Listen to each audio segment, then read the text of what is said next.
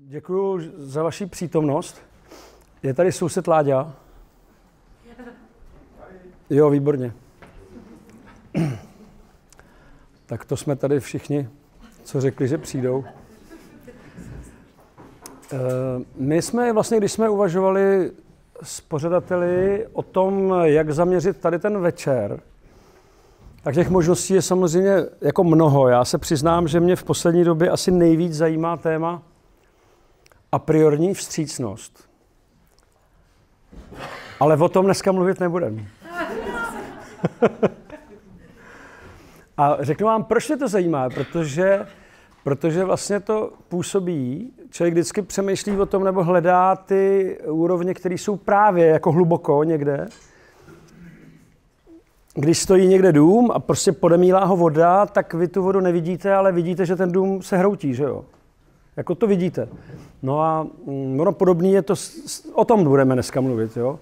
Ale jeden, jeden z těch takových aspektů, který mi přijde fakt úplně až neuvěřitelný, je ta a priorní vstřícnost, se kterou se člověk setkává vlastně skoro jako pořád. Kdyby za ní nebyla ta zuřivost a ta frustrace, tak by to bylo hezký, jo? Že, že jsme k sobě a priorně vstřícní, ale dneska už vlastně, jak ty lidi hodně čtou a chodí taky na ty různé kurzy, tak se mi často stane, že přijde člověk a řekne, já jsem ten typický hodný kluk, který je strašně nasraný. No. A kvůli čemu? Protože je a priori vstřícný, že jo? Nebo ona je a priori vstřícná a pak zjistí, že si tím vlastně říká o to, aby byla manipulovaná, že jo? Nebo on si tím říká o to, aby byl manipulovaný. Takže to mně připadá, že je zajímavý. Tomu budeme se věnovat příště.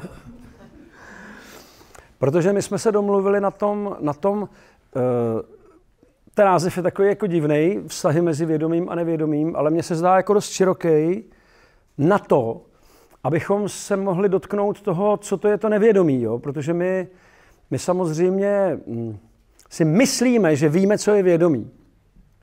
Já bych si k tomu troufnul říct jedinou věc – Vědomí je největší mystérium vesmíru. Jednou o tom mluvil Grof, který eh, tady, když jsem přijel, tenkrát, když ho, když ho padla ta bariéra mezi západem a východem, tak Grof byl jeden z prvních, který přijel a tady vlastně některé věci pojmenovával. Když člověk u toho mohl být, tak, tak to bylo fakt hodně, hodně zajímavý. A on tam tenkrát řekl, že mu přijdou zajímaví materialisti, určitou nenasytností, neboť potřebují dvě mystéria, dvě záhady. Odkud se vzala hmota a jak se z té hmoty zašlo generovat vědomí. On říká, to jsou dvě neproniknutelné mystéria. Idealista je skromnější, stačí mu, kde se vzalo vědomí. Jakožto mystérium, jako ta záhada naprostá, která, na kterou vlastně není uspokojivá odpověď a už vůbec ne v tom světě, ve kterém my žijeme. Když používáme termín vědomí, tak my to zužujeme. Používáme to v tom smyslu, že vědomí je to, co jsme schopni si uvědomit. Relativně vzato toho není mnoho. Někteří skeptici říkají, že když bychom si představili, že k nám proudí nějaké informace z toho prostoru, psychomentálního, tak do našeho vědomí těch informací vstoupí, když 15%, tak to je velmi mnoho. Spíše méně.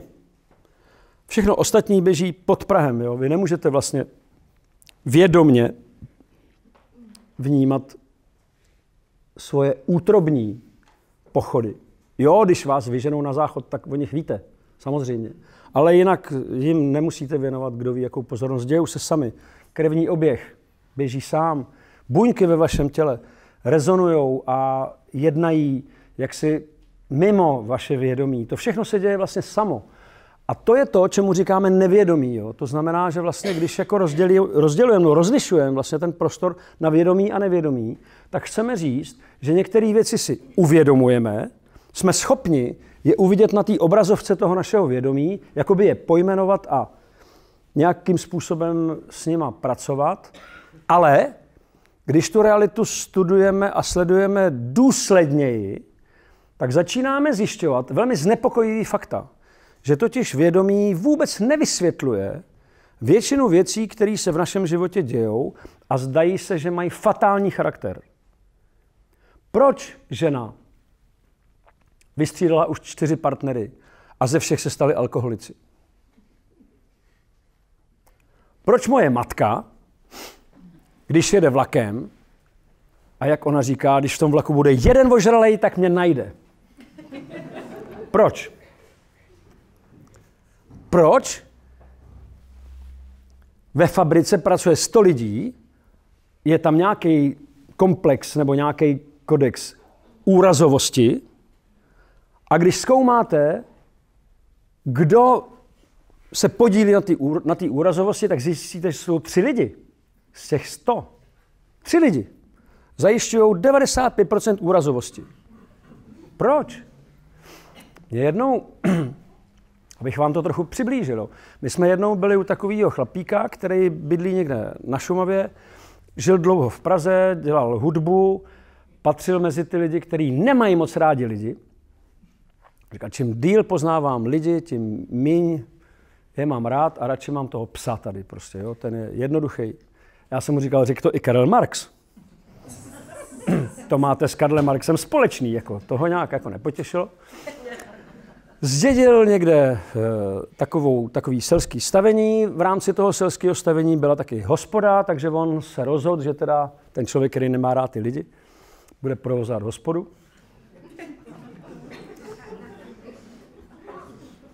A my jsme se u něj zastavili. Jeli jsme nějak okolo, právě s kapelou, tak jsme prostě říkali, hele, Miloši, co ty myslíš, jo, že bychom si zadžemovali třeba u tebe v hospodě, on říká, jo, to je skvělý nápad, tak jsme se u něj zastavili, teď on říkal, zatím je to dobrý, ještě tady nejsou lidi. Můžeme si povídat. A já jsem šel na záchod, se vyčurat, když jsem se vrátil, tak tenhle ten Miloš říká, co to splachovadlo? Jako, zastavila se ta voda v tom rezervoáru? A říkám, člověče, já to nějak nesleduju. Mně jde o to, že jsem se vyčural a prostě... On, hele, pojď, pojď se se mnou podívat. Jo? Tak jsme šli na ten záchod. On říká, vidíš, rezervoár se zastavil. Říkám, já myslím, že kvůli tomu to tam je, ne? Teď tam ten, ten plovák, pak je tam tahle to. Ne, že bych tomu nějak rozuměl, ale prostě když to funguje. A on říká, a teď ti něco ukážu, jo? A spláchnul. Teď slyš, pozorujeme, jak se to doplňuje, že? A, a, a zašlo to normálně protejkat. Nezastavilo se to, zašlo to protejkat. Hele, a on říká, a teďka spláchni ty. tak jsem spláchnul, normálně se to zastavilo. A on, hele, a já ti to ukážu ještě jednou. A spláchnu a zase to protýkalo. Já říkám, hele Miloši, tady musel být nějaký čaroděj, který ho si ty špatně obsloužil a on ti tady poslal kledbu. Jako. On říká, já nevím, já nevím, jak je to možný, prostě takovýhle věci se tady dějou. A říkal, jo a mezi tím náš kolega říká, hele, já skočím do auta, uh, přinesu nějaký nástroje jako hudební, aby jsme si teda mohli zadžemovat. A ten Miloš mezi tím vyprávěl. Představte si, 8. květen, malá vesnička. On vyjde ven z toho svého baráku a říká, myslíš si, že někdo vyvěsil americký prapor? Přitom tady nás osvobozovali američani. Tak jsem si řekl, no, mě to taky trošku takhle, jako jsem se podobně cítil. Já nevyvěšu americký prapory. A, ale on chtěl vyvěsit americký prapor a říkal, nejzvláštnější na tom bylo, že přesně v momentě, kdy jsem dostal tuhle myšlenku, tak začal foukat vítr a jenom zesiloval. Při, přistavil jsem žebřík tady k té stodole, že jo, tam je to ta klasická stodola s tím, že jsou tam vynechané ty cihly, že jo, aby to mohlo pěkně, pěkně tam prostě proudit ten vzduch. Takže on tam vyleze po žebříku, strčí tam do té díry ten prapor, takhle ho tě tou slámou to nějak ucpe. Vítr fouká víc a víc. On sleze dolů, kouká na ten prapor, jak ten vítr takhle mlátí prostě s, tím, s tou žerdí, to tam poškozuje tu cihlu, to on nese těžce, takže i když vítr zesiluje, tak on se rozhodne, že to tam nějak líp utemuje, takže leze po tom žebříku. Ten vítr ho vezme i s tím žebříkem A takhle ho to převrátí na auto, promáčkne auto, zlomí žebřík a zraní si nohu. A tohle nám vyprávěl. A já jsem říkal, Miloši, ty už by se nad sebou fakt měl trochu zamyslet. Jako jo. Tohle není jen tak. Do toho přišel ten kamarád, který si šel pro ty nástroje do toho auta a říká, hele Miloši, mě to strašně mrzí, ale já jak jsem tam hrabal pro tu harmoniku v tom autě, tak jsem odbrzdil a projel jsem ti vratama. A mi říká, o, to je... A teď si představte, proběhne ten večer, prostě celkem jako v pohodě, nějak jsme si zahráli, pak jsme šli spát, bylo léto. Ráno nás probudí řev tohohle chlapa. Bolestný, hysterický řev zraněného muže. Na ten selský důr, jeho český s nádhernou travičkou zelenou, mu přivezli prostě 8 metráků uhlí, který si neobjednal. Takhle mu to složili jako před ten sklep, k těm dveřím ani nemohl. My teda jsme vstali, že jo, a říkáme, hele, my ti, Miloši, pomůžeme. Oni mi zaházeli lopaty. Ty lopaty byly pod tím, pod tím uhlím, jako jo. A já jsem si říkal, to je tenhle chlap jako, to je těžká, těžká věc, jako říká se jim pechfogl, jo. to jsou ty, kteří právě zajišťují ty, tu, z, tu z, zraně, zraněnost, nebo tu, že jo, tu, tu, jo, jo, jo. A já jsem teda, potom mi to vrtalo hlavou, tak jsem prostě napsal takovou povídku, která se jmenovala Smutek pana Hostinského. A druhý rok, když jsme tam kolem mě jeli, tak jsem tu povídku takhle jako mu jako předal, že mám pro něj dárek. A on takhle šel stranou. Přečetl si to velice pozorně. A pak přišel a řekl, to je o mně. A jsem říkal, jo, takhle to je. A to vlastně naznačuje, že ty věci, které se dějou nevědomně, spíše vnímáme jako nějakou náhodu, nahodilost, nebo fatalitu, jako něco, co přichází právě trochu od nikud. My bychom rádi uviděli tu souvislost. Jenže naše ego nechce, abychom tu souvislost uviděli, protože kdybychom ji uviděli, tak se tím trochu osvobozujeme. Jo? To znamená, že když dneska budeme mluvit o vztazích mezi nevědomým a vědomým, tak bychom primárně měli zdůraznit, že nevědomí je prvotní stav. V nevědomí nacházíme zvířata, zejména divoká. V nevědomí nacházíme celou přírodu. Nevědomí neznamená, že to nemá vědomí. Jo, ono to slovo je vlastně nešťastný. Myslím si, že není jako blbější, blbější zvolený slovo než nevědomí, protože ono to vypadá jako, jako nevědomost. Jo, jsou taky lidi, kteří si to spolu pletou. Ale já si myslím, že se tím snažíme říct jedinou věc. My vlastně nevíme, co to je. Jo, my o tom nic vlastně nevíme. My se pokoušíme jako roky, a řekl bych, že možná tisíce let, se lidstvo pokouší pochopit tady tu mohoucnost toho, čemu teda Dřív se tomu říkalo božství, že jo? Jenže to dneska nemůžete. Že božství už se vůbec neví, co je. Vlastně, teda ví se, že to není. To se ví. O nevědomí je těžko říct, že to není, jo? poněvadž to má nějaký jako jasný projevy. Božství je prostě blbost, že jo? to si vymysleli lidi, co mají strach ze smrti. Ale nevědomí je vlastně energie, nějaká mohoucnost, která do našeho života ohromným způsobem vstupuje. A mohli, mohli bychom si říct, jen tak jako, abychom si dovedli představit ty vztahy, které mezi tím jsou, že nevědomí je teda prvotní stav. Malí děti jsou v nevědomí. Možná jste si všimli, že když malí děti počítají lidi u stolu, tak sebe nikdy nepočítají. Když, jsem, když by malý dítě mělo o něčem mluvit, tak jako kdyby ono tam nebylo. Já jsem jednou měl sen, ve kterém jsem se setkal se stvořitelem. Byl to ohromně silný sen. A já jsem, když jsem pochopil, že mluvím se stvořitelem, tak jsem byl úplně v šoku a říkám, počkej, já teď mluvím s tebou? A on řekl, to není přesné. On mluví s ním. To je zajímavější, že jo? Jaký já s tebou? Nějaký dvě ega, že jo? A on rovnou upozornil, ne, ne, ne, tohle jde mimo ego. On mluví s ním. Tam je určitý typ odosobnění, který člověk potřebuje na to, aby začal trochu líp chápat, co to je nevědomí. Nevědomí rozhodně není osobní síla. Určitě ne. Nevědomí jedná velmi neosobně, jedná velmi pravdivě a často, říká to i ten Hawkins a moje zkušenost je to taky, když přichází určitá energie z nevědomí, tak naše ego ohromným způsobem vzdoruje, kroutí se jak had nějaký, nelíbí se mu to vůbec ani trochu, ale ku podivu, když budeme k sobě trochu poctivější, tak zjistíme, že naší bytost to osvobozuje. Mýmu egu se to nelíbí, ale mojí bytost to osvobozuje. Co to je? Co to je za energii? Takže pojďme si zkusit připustit, že z toho nevědomí, to vědomí se začalo jakoby, možná, že emancipovat je to správné slovo. Jo, že to vědomí se začalo jako kdyby osamostatňovat, začalo si uvědomovat sebe samo, začalo skrze ego nahlížet na sebe samo. V mnoha případech je ego centrem vědomí, to je to egocentrický vědomí, zaměřený pouze na sebe, tam se vlastně nic jiného nevejde.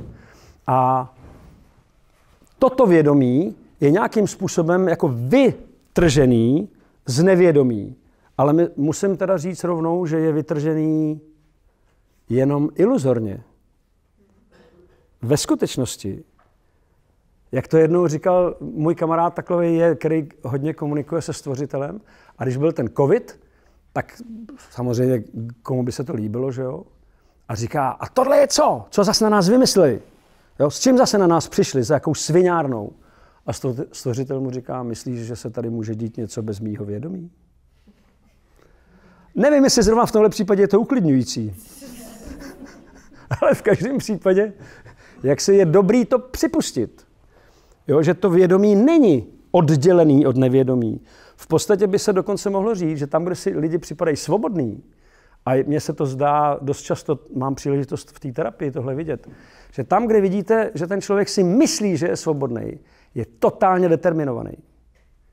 Když byste mohli vidět, co se mu děje v jeho nevědomí a co se odráží v jeho vědomí jako názor, přesvědčení, postoj, je plně determinovaný. V tom není ani kousek svobody. A zejména tam, kde si ten člověk myslí, že je naprosto svobodný, je totálně determinovaný. Teprve v momentě, kdy připustí právě, jak hluboce a jak daleko sáhle je determinovaný, tak se pro svobodu otevírá takový, taková úzká štěrbinka. Velmi úzká. A mohlo by se říct, to říká teda zkušenost, že tam, kde člověk začne milovat právě to nevědomí, který ho učí o řádu, o řádu tady toho vesmíru, protože tenhle vesmír je ohromně pevně veden řádem. A myslím si, že svoboda je až v ten moment, kdy člověk ze srdce miluje ten řád. Ten řád miluje, ne sebe, ne svý ego, ale ten řád. Ten, který vlastně tvoří ten svět. Protože dneska mi zrovna psala jedna klientka. Říkala, poslechněte, nějak jsme se bavili o tom, že ona říkala, já vás sleduju, dlouho vás sleduju. Teď se tam objevuje ta Lucie Havlínová. Mě to kroutí palce u nohou. Já jí nevěřím jediný slovo. Falešná. Já říkám, já jsem tak rád, že to říkáte. Protože to víc lidí takhle jako reaguje. A všimla jste si, jak jste rozrušená? Představte si, že kdyby vás to fakt nezajímalo, tak o tom takhle spolu asi nemluvíme, že jo? A jestliže vás něco irituje, já si vždycky vzpomenu, co mi tenkrát řekl ten Klaus Kinský. Jo. My jsme u něj byli někde na snídani v tom jeho prostoru. Žďár nad Sázavou, myslím, že se to jmenuje. A bylo to jeho kavárna, celý to tam bylo jeho, že jo. Teď přichází číšnice, ptá se, jestli něco nechcem. On řekne, ne, děkuji, já mám všechno. A číšnici to zarazí. Protože to chytne ještě z té druhé strany. Přesně, jo? Kde je ta závis, kde je to ego, tak no, má všechno, hajzel má všechno. A, tady prostě, a já mu tady musím nosit prostě kafe. A, a on si toho taky všim. A říká nám, my s manželkou svoje zaměstnance vybíráme velice pečlivě. My se nemusíme shodnout na všech kritériích, ale potřebujeme, aby v jednom kritériu jsme se skutečně shodli a pak toho člověka přijmeme. A já říkám, jaký je to kritérium? A on říká, ten člověk nás musí oba nějak iritovat. A říkám, počkejte, vás oba ten člověk irituje a vy ho přijmete? Ano, protože jestliže mě ten člověk irituje, pak s ním mám něco společného. A já chci vědět, co to je. A já si říkám, tak konečně mám možnost jako ochutnat aristokratický přístup. Neboť jako u nás v Čechách je běžné, že když nás někdo irituje, tak chceme být od něj co nejdál, že jo? Protože my nechceme vidět svoje nevědomí. My nechceme vidět ani svůj stín. Ne, ne, ne. Jak někde říká Jung, lidé nemají větší odpor, jak si v sobě zakořeněný, než odpor k tomu něco si uvědomit.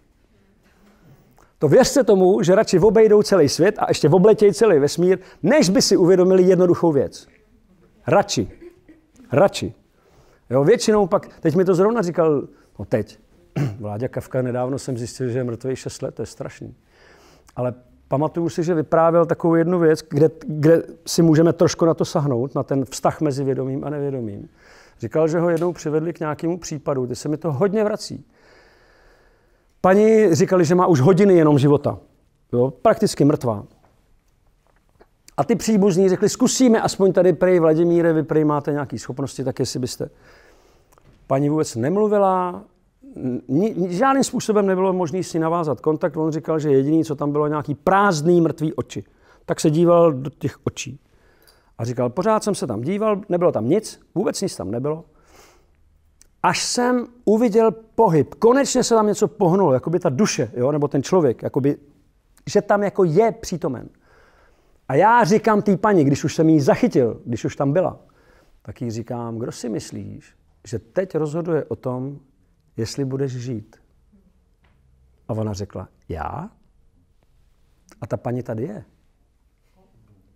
Ano, protože to pochopila. A já jsem právě říkal, člověče, ale to je vlastně úžasný, jako že ty takhle můžeš jako těm lidem pomoct. A on říkal, s těma já pracuji nejradši.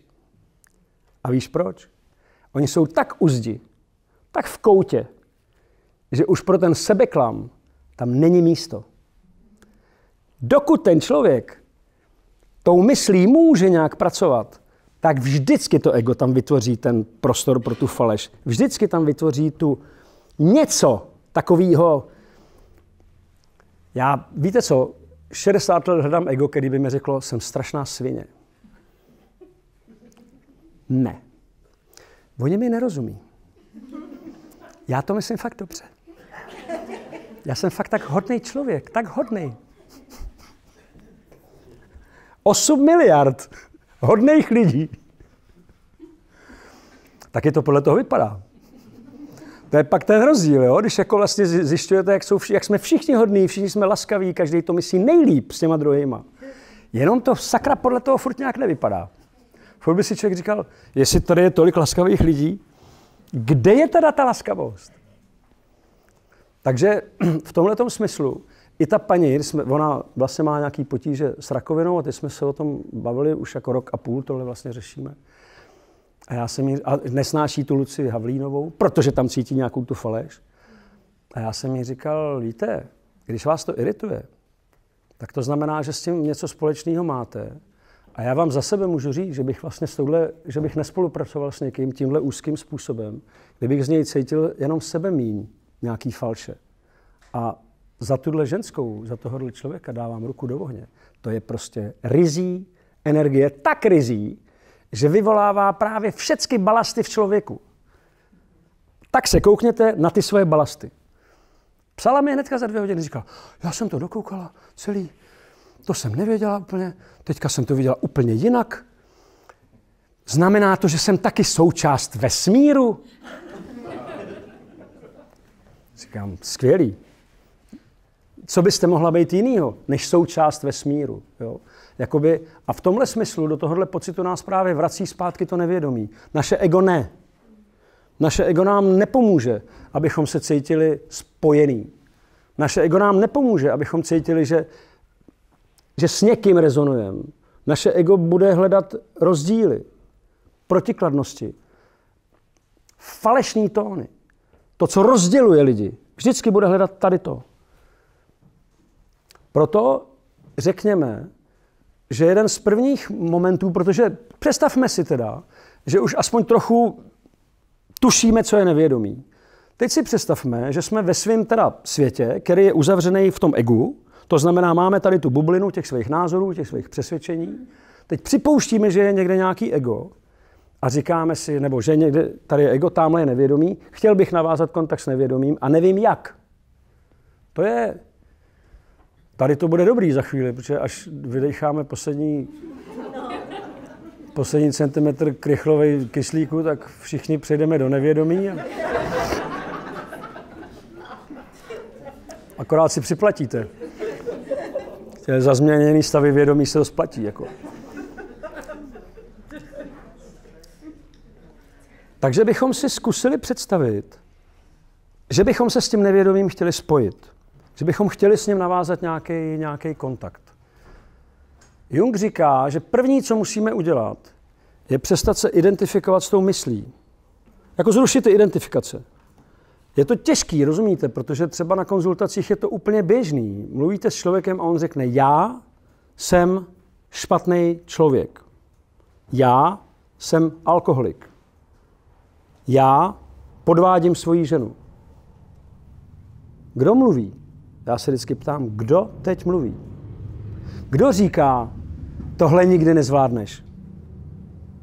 Kdo říká, tohle nedokážeš? To není ve tvých silách. Kdo to říká? Samozřejmě, který se bojí jakýkoliv změny, jo? protože ego v podstatě je jako zakonzervovaná věc, který velmi vyhovuje, že si toho člověka ošefuje, proto indiáni tomu říkají parazit. Některý ještě jiný tomu říkají mrtvola. Jo? Taháme ty mrtvoly, že jo? Konec konců v Čechách to je jako běžným zvykem, že přijdete takhle na návštěvu, hodíte mrtvolu na stůl, že jo? Líp ještě na talíř. Nejste sami, Jo, druhý přijdou, taky tam ty mrtvoly naházejí. Pak se o tom bavíme, která mrtvola je smradlavější, která je hnusnější, že jo. Pak si představte, že někdo vám třeba řekne, hele, co kdyby tu mrtvolu prostě si nějak řešil sám. Takže to není přátelství. Jo. My nejsme přátelé, ty nechceš si čuchnout k mojí mrtvole. Tak takhle to dělá ego. Jo? Takhle to vlastně dělá ego ve smyslu té mrtvoly. Jo? Toho, tohle je moje bolest, tohle je moje zranění, tamhle se mi stalo tohleto. Já jsem mluvil pravdu, maminka mi nevěřila. Říká vám 70-letý člověk. Maminka mi tenkrát nevěřila a je schopný ještě se u toho dojmout. I si zapláče. Jak maminka mu tenkrát nevěřila. Protože tam někde zůstal. Jo, určitou značnou částí vlastně svojí, svojí bytosti. To znamená, že první, co potřebujeme udělat, je přestat se identifikovat s tím, jsou myslí, s tím, co vždycky jakoby je tam dřív. Protože jinak nezachytíme nevědomí. Jo. Zkuste si představit, to je první úroveň nevědomí, ani není, myslím, nevědomí, je to spíš podvědomí. Jo. Je to to, co vlastně objevil, objevil uh, Freud a on se domníval, že, že objevil celý to nevědomí. Jo. Tak jako si myslel asi Kolumbus, že objevil Indii, tak takhle si to nějak myslel i ten Freud. On objevil pouze podvědomí, to znamená určitou, určitou část našeho nevědomí, která je komplexová, jo? má komplexový charakter. To znamená, tam jsou ty traumata, tam jsou ty zranění, tam jsou ty věci, které se nám pořád vlastně vracejí a pořád nám vlastně jako, já tomu říkám refrén. Jo, až budete sledovat svůj mysl nebo svoje chování, svoje, svůj život, tak sledujte refrény, sledujte, co se vám pořád vrací. To je vlastně to nejmíň jako, je to velmi iritující, jak říkám, když žena udělá alkoholika už ze čtvrtého muže, měla by se zamyslet i nad sebou a nad svými refrény. Jo? A tak dále. Jako každý nějak působí na ty lidi, se kterými se stýká. A měl by se ptát, jestli jeho působení na ně je spíš jako k lepšímu, anebo naopak spíš ho tlačí do těch refrénů. Že jo? Takže to jsou, já řeknu jenom příklad, abyste si to dovedli představit. Když někdo přijde pozdě do divadla, a když není tímhle tím komplexem zasažený, tak o něm nevíte. On prostě přišel pozdě a někam si sedne. Ale jsou lidi, kteří jako sice přišli pozdě, ale oni jako zastaví to představení. Lidi vstávají, se rozsvítí, protože tamhle to jsou ty naše místa. Jo. Pardon, my nechceme rušit. Ne, to určitě ne. Ale zastaví představení. Jo. Jarda jim vždycky říká, je moc dobře, že jste přišli. My rádi počkáme. A to dělá ten komplex. Tohle dělá ten komplex. On vlastně jakoby ruší jednotu našeho vědomí, ruší ten, to přesvědčení o tom, jak jsme skvělí, jak jsme hodní, jak jsme laskaví protože děláme věci, které vůbec nejsou laskavé, vůbec nejsou konstruktivní, naopak jsou pěkně destruktivní, ale jinak to nešlo. To se nedá nic dělat. Jo. Tam, pardon? Jde to z vás? Je, samo. no, vlastně On to někde říkal ten Freud a má pravdu, že to podvědomí je vlastně v takovém určitém napětí, že pořád má tendenci se projevit. Pořád má tendenci jakoby srovnat to, tu, to napětí, který tam je. To znamená, že my jsme naučení třeba být zdvořilí, slušný, jo, nemluvíme určitě zprostě, ale někde v nás se dějí úplně jiné věci. A ty potřebují se nějak jako dostat na ten povrch, aby, aby se to spojilo.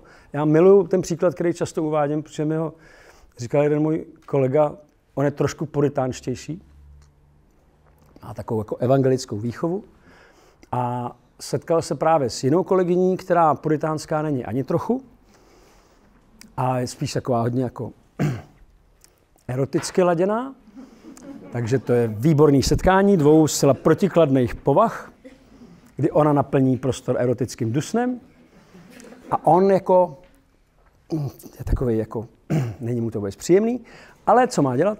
Něco vodní potřebuje. A ona pak řekne, že jede teďka na tři neděle, na tři neděle eh, pryč na služební cestu, ale že se potom vrátí a může teda pro něj zajistit tu věc, kterou, pro kterou on tam přišel.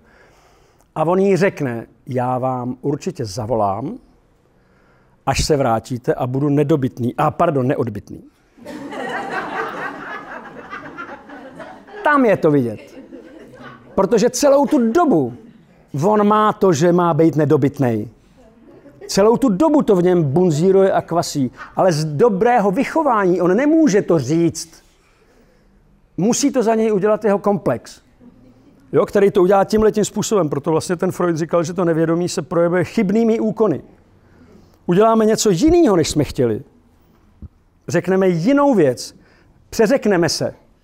Jo, jako říká se, že indiáni, indiáni říkají, že nemusíme mít podvědomí. Vůbec. Pokud vlastně naše pozornost a naše vědomí budou harmonicky půjdou spolu, tak jako u malého dítěte, tak žádný podvědomí není potřeba mít. Člověk může být úplně spontánní a žádný chyby nedělá. V tomto smyslu. Jo? Protože tam nemá ten tlak, nemá tam to napětí, akorát prostě občas řekne věci, které se vám zdají, že nejsou úplně jako, jako s tím dobrým vychováním já se pamatuju, jsme, já jsem nějakého kolegu, byli jsme v restauraci s ním a tam byla taková právě číšnice, ta byla taky skvělá. Jo. Prostě byla, ona byla ten produkt toho solárka, té posilovny, těch e, operací různých a ještě jako prostě vystajlovaná, jako dokonale a úplně prázdná. A takhle tam jako přichází s těma prsama a samozřejmě umělejma. A já jsem si říkal, to je jako, to mě fakt nezajímá, jo. ale tenhle ten můj kolega takhle jí zabot přesně jako do toho výstřihu ten nos. To jste měli vidět, jak byli oba spokojení. Jo, člověk by řekl, jako, že to není úplně společenský, Jo, ve smyslu jako zdvořilosti. Ne, ne, ne, ona byla velmi spokojená, protože jako dobře investovala peníze. On byl taky spokojený. Takhle prostě, jo. A kde tam je prostor pro podvědomí? Aha. Všecko je lege artis. Akorát někdo může říct, no to snad se takhle v restauraci nedělá. Že? A tím už si vytváří ten prostor pro to podvědomí. Ale podvědomí není vlastně to, co je úplně zajímavý Jo, samozřejmě, e, zajímavý to je v tom smyslu, že nám to brání v normálním svobodném životě. Zajímavý je to v tom smyslu, že naše komplexy jsou dílčí osobnosti, které pořád narušují jednotnost našich záměrů. Jo, my nechceme se hádat, přesto se po pěti minutách hádáme. Jo? My nechceme nikoho upozorňovat. Ne, ale přesto nám to nedá. Jo? A, a už, už to jede už to jede, už se vlastně jako ty lidi dohadují. Takže pokud, by se, pokud bychom chtěli si hledat cestu k nějaké svobodě, tak určitě přesto, že budeme integrovat svoje podvědomí. Že se budeme vracet zpátky k něčemu, jako, že srovnáme tu nesrovnalost mezi tím přílišným zdvořilým vychováním a tou přílišnou brutalitou, kterou zakrývá toto zdvořilé vychování. Vím, že Jung, když poprvé přijel do Ameriky, tak řekl, když jsem viděl blazovanost Američanů, okamžitě jsem se rozhlížel po brutalitě, kterou zakrývá. Protože to je pohled eh, analytika. Jo? Někdo přijede takový pitomec jako já a řekne, ne, oni jsou tak hezký, tak laskaví, tak příjemný, tak milý. Dokud teda s nima nepotřebujete jednat, že jo? Dokud tam nedojde ke střetu zájmu.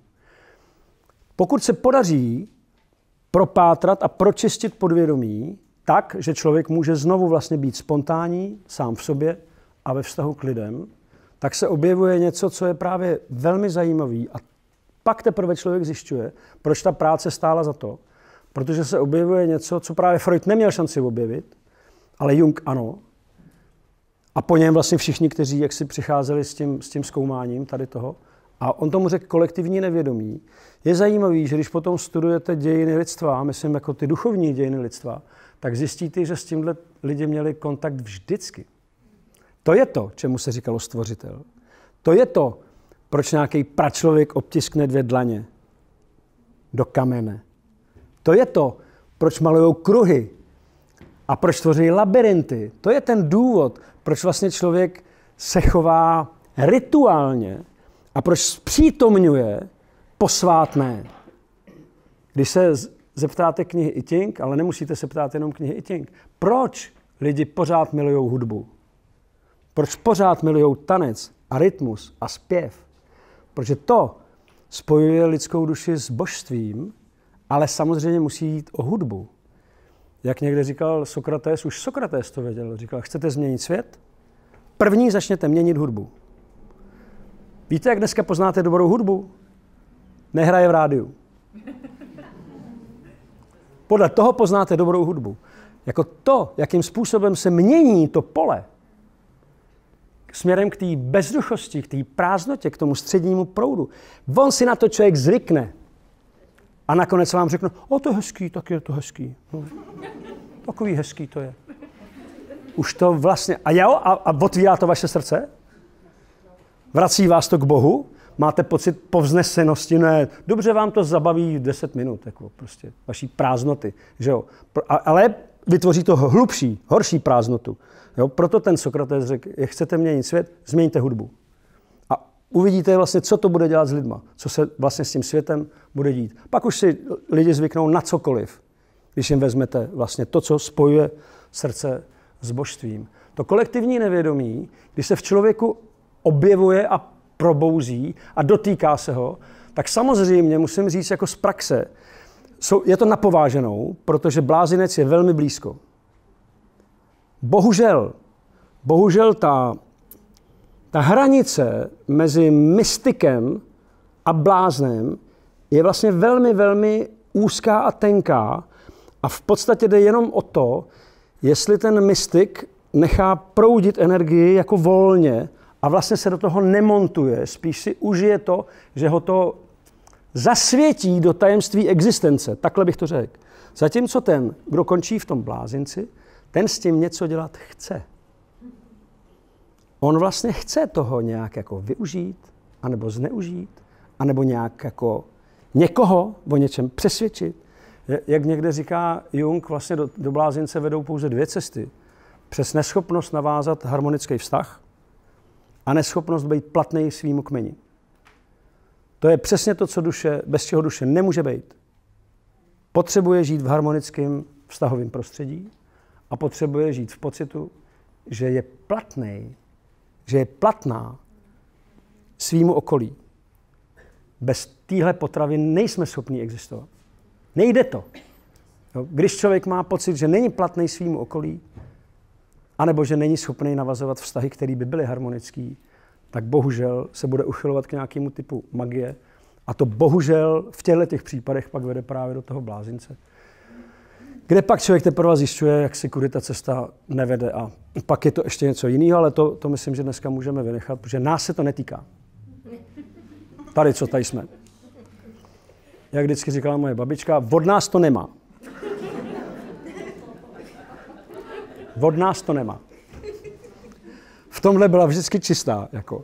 Sračky jsou všude za plotem, ale u nás je to v pořádku. Se pamatuju, jak jednou na sebe křičeli svojí matkou, ale fakt už začali řvát.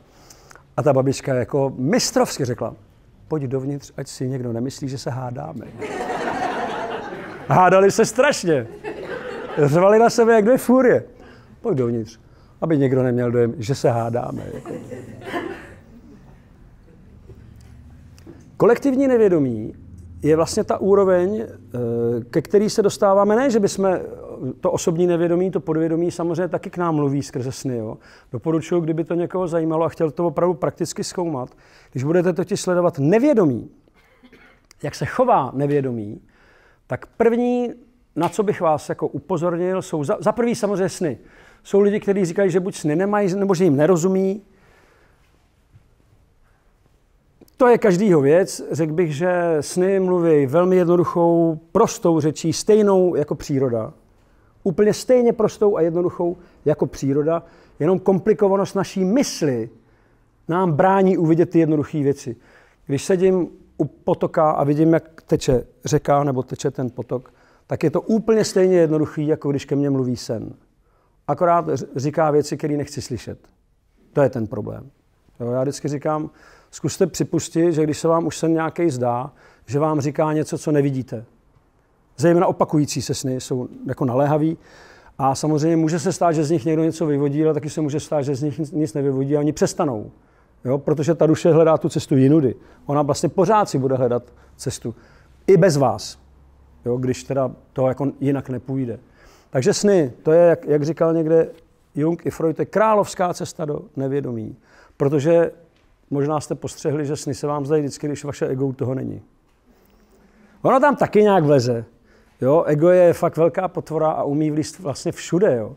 A i v tom snu se bude projevovat jeho způsob jako jednání. Jo? Ale tam bude takový jako, z, jako zřetelnější a trochu líp budete umět uvidět.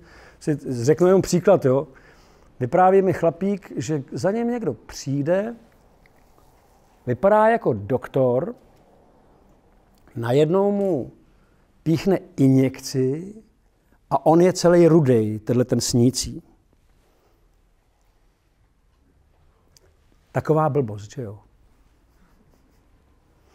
A já říkám, jak snadno se ti stane, že se rozuříš? A on říká, to je taky zajímavý, jo? jak ta moje babička? Ne, to já, ne. Vůbec. Zuřivost to jako úplně mimo moje pole. A říkám, a proč se takhle klepeš tou nohou? Jako? Tak jako do rytmu? Jako? No, říkám, no ne, tak jako nevypadá to, že bys úplně klidem, jako, že bys tebe klid jako vyzařoval nějak jako velmi. Až jsme se k tomu dostali, jo, že se mu to samozřejmě stane, že ho něco rozuří a že ještě chvilku předtím si myslí, že je v klidu, jako každý chlap. Já říkám, že úplně každý, ale většina chlapů prostě jsou úplně v klidu, dokud nezačnou jako rozbíjet věci. Že jo? Jak mi to říkal ten můj známý, ten byl výborný. On pracoval, stavěl domy, byl takový hodně jako, jako udělaný chlap. A říkal, já jsem žil s takovou ženskou, asi jsme spolu žili asi dva roky, ona měla dítě, já jsem u ní jako bydlel. A ona do mě hodně šla, hodně jako. A říkám, to ženy dělají, když chtějí vyzkoušet, jestli muž je pevný. A on říkal, jo, ale že to furt zkoušela ty dva roky, jako to mohla zjistit za měsíc, ne? A říkám, no, to si jaký myslím, ale tohle se těžko vysvětluje ženám. Oni si myslí, že musí toho muže prověřovat pořád. On říká, no, no, no, tak já jsem byl jako v lidu, většinou jsem na to nereagoval a jednou prostě jsem fakt 14 dní dělal na strašné stavbě, byl jsem úplně zničený, promrzlý, unavený, chtěl jsem přijet. Jediný, co jsem chtěl, dát si polívku a jít spát. I jsem jí to řekl. Říkám, to si neměl. Kdyby si to neřekl, možná by byla víc v klidu, ale takhle prostě si jako toho ďábla vydráždil velmi. Jako.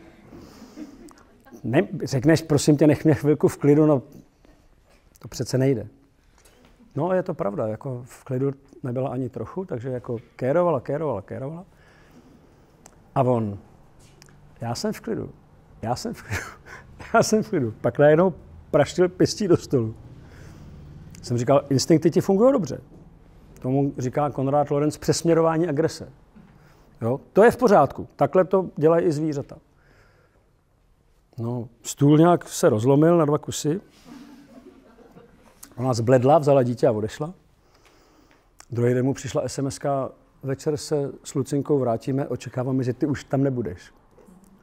No, rozumíte, jak by to měla asi řešit jinak? A jak by to on měl řešit jinak, že jo?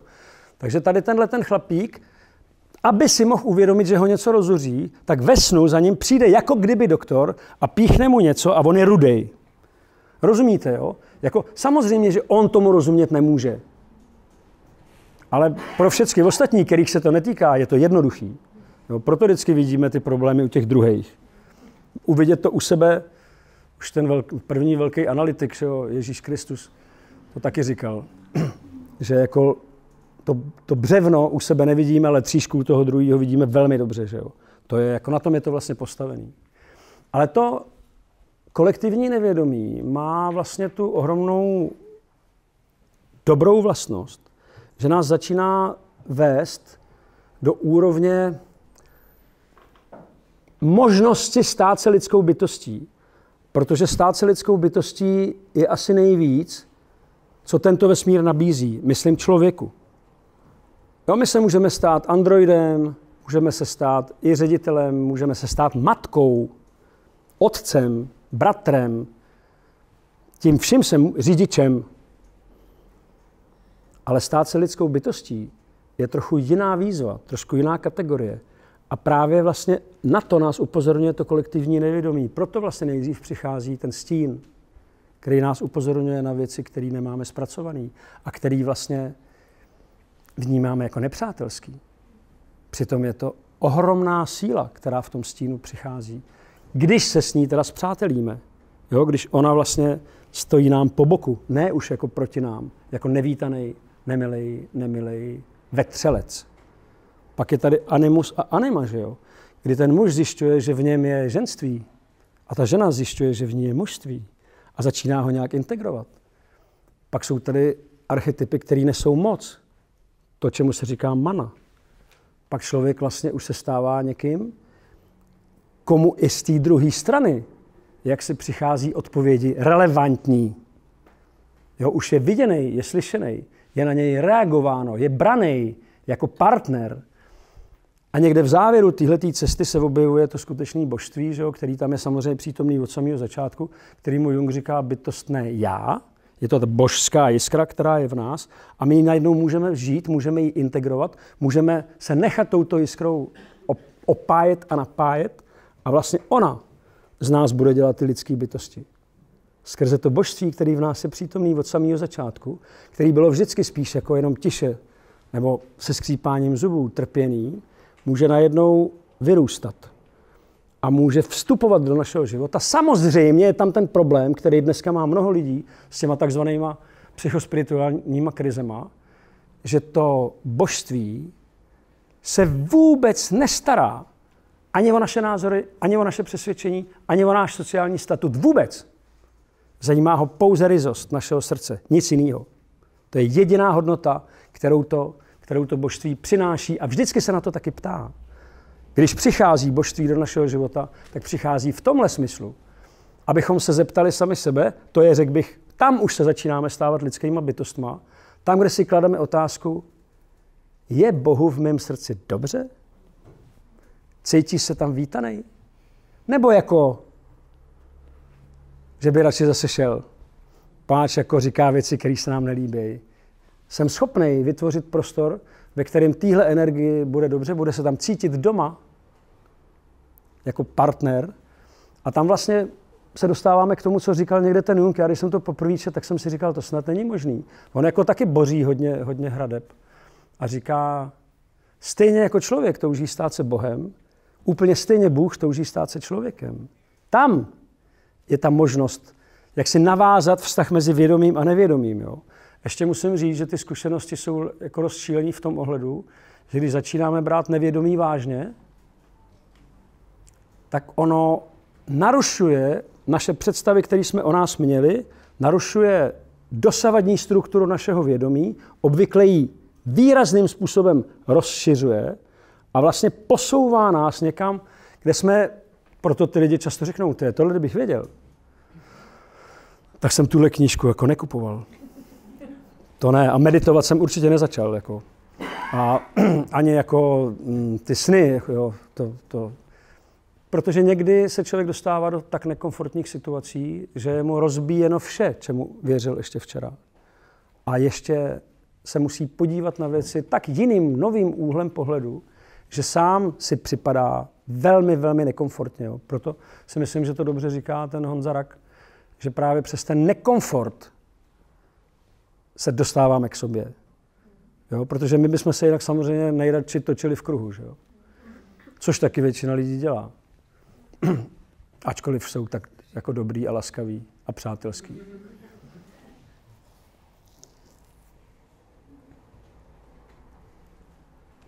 Možná bych chtěl říct ještě jednu věc, protože mluvili jsme tady o těch možnostech, skrze který to nevědomí můžeme vnímat. Řekl jsem, že primárně jsou to sny, sekundárně jsou to teda, my tomu říkáme náhody, ona, e, proto je ražený takový termín, který si myslím, že je dobrý, synchronicita, protože pokud vnímáme synchronicitu, tak vidíme, že ona vždycky mluví jaksi z co nejširšího pole. Jo. Já vám řeknu jeden příklad synchronicity, který se mi zdál opravdu jako famozní občas si ho musím připomenout. Vždycky, když někdo mluví o tom, jak to tady mají ty muži a ženy na té planetě, jo. Samozřejmě skvěle. To vidíme na každém kroku. A my jsme jednou hráli v Trutnově na nějakém festiáku a teď jsme jako nazvučili, měli jsme dvě hodiny čas, tak jsme si řekli, pojďme na pivo.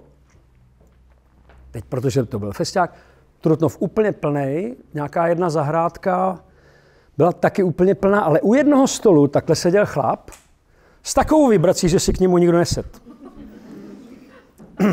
Jenom koukal před sebe, takhle tam měl pivo a prostě vůbec nic jako neříkal. Nemusel. A protože tam jiný místo nebylo, tak my jsme si k němu, on řekl, jo, si tady posaďte. A řeknu vám, nevím, jak je to možný. Během tří minut jsme se dostali na ženský šovinismus.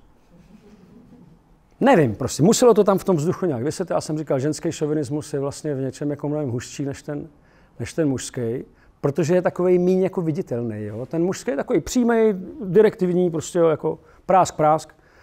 Ten ženský je takový, no, ale prosím tě, snad by si nemyslel tohle. No a, a já říkám, zrovna včera moje matka mi vyprávěla i vtip. Myslela si, jak je dobrý. Jak Nějaký muž se ráno probudí u sebe doma, trošku nějak si úplně nepamatuje, co bylo večer. Teď se snaží si to nějak zrekonstruovat, najednou vidí, že ve sprše taková pěkná, prostě dívka se tam sprchuje. A on říká, pane bože, proč ty ženský jsou tak nádherný? A Bůh mu řekne, no, aby si je mohl milovat. Jo, a proč jsou teda tak blbí? Aby mohli milovat tebe. Já říkám, a moje matka si myslí, že to je vtipný. Jako, jo. A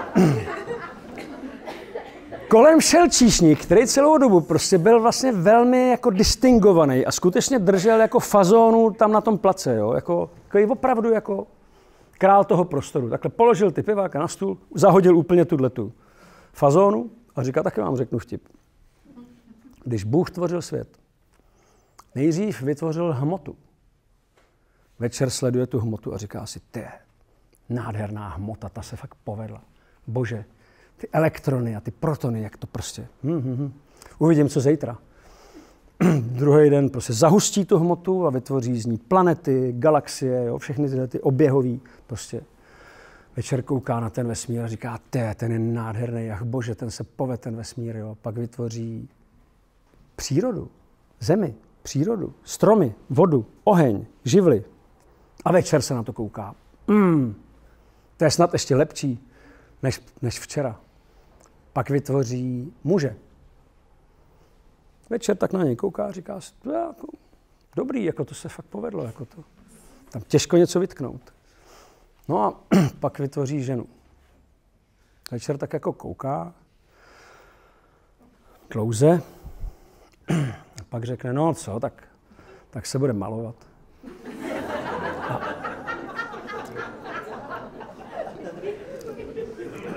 A teď si představte, jo, Tohle tam proběhlo, asi aby misky vach byly vyvážený. A tenhle chlap, co tam sedí u toho politru, najednou řekne, víte, co mi včera řekla moje žena? Co ti řekla? Až budu chtít znát tvůj názor, tak ti ho řeknu.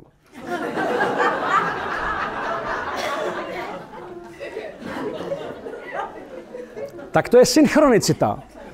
To je vlastně synchronicita, která z určitého pohledu jako by se týká něčeho, co vysí ve vzduchu. Vysí to v prostoru, je to tam, jo. My třeba, když hrajeme představení, improvizovaný, tak eh, my si nic jako nevymýšlíme, my to bereme z toho prostoru, jo. Člověk jenom nechá to na sebe působit a prostě něco dělá, pak zjistí, pak přijdou lidi, dneska to bylo o mně. Celý to bylo o mně. Jo. Když jste tady byl, že jo, tak o kom by to mělo být jiným. A vlastně eh, tohle je ta synchronicita. Jo? Synchronicita je jakýsi zvláštní, Jung někde říká, a kauzální souvislost, souvislost, kdy nevidíme tu příčinnost. Proto tomu říkáme náhoda. Ale už Buñuel řekl, že náhody má mnohem radši než zákonitosti, protože zákonitosti jsou vždycky něčím pošramocený, trošku pošpiněný, zatímco čistota náhody je vždycky rizí. Jo? To prostě nevymyslíte. To, co se stane náhodou, je ohromně čistý a jo, jenom akorát někdy těch náhod je tolik po sobě, že už ten zdravý rozum se trošku vzpírá, že, jo? že nechce tomu věřit, že takhle by to jako bylo. A možná je dobrý vědět, že když ta synchronicita už je příliš jak se naléhavá, tak eh, je dobrý zamyslet se fakt nad tím sdělením, který pro vás má.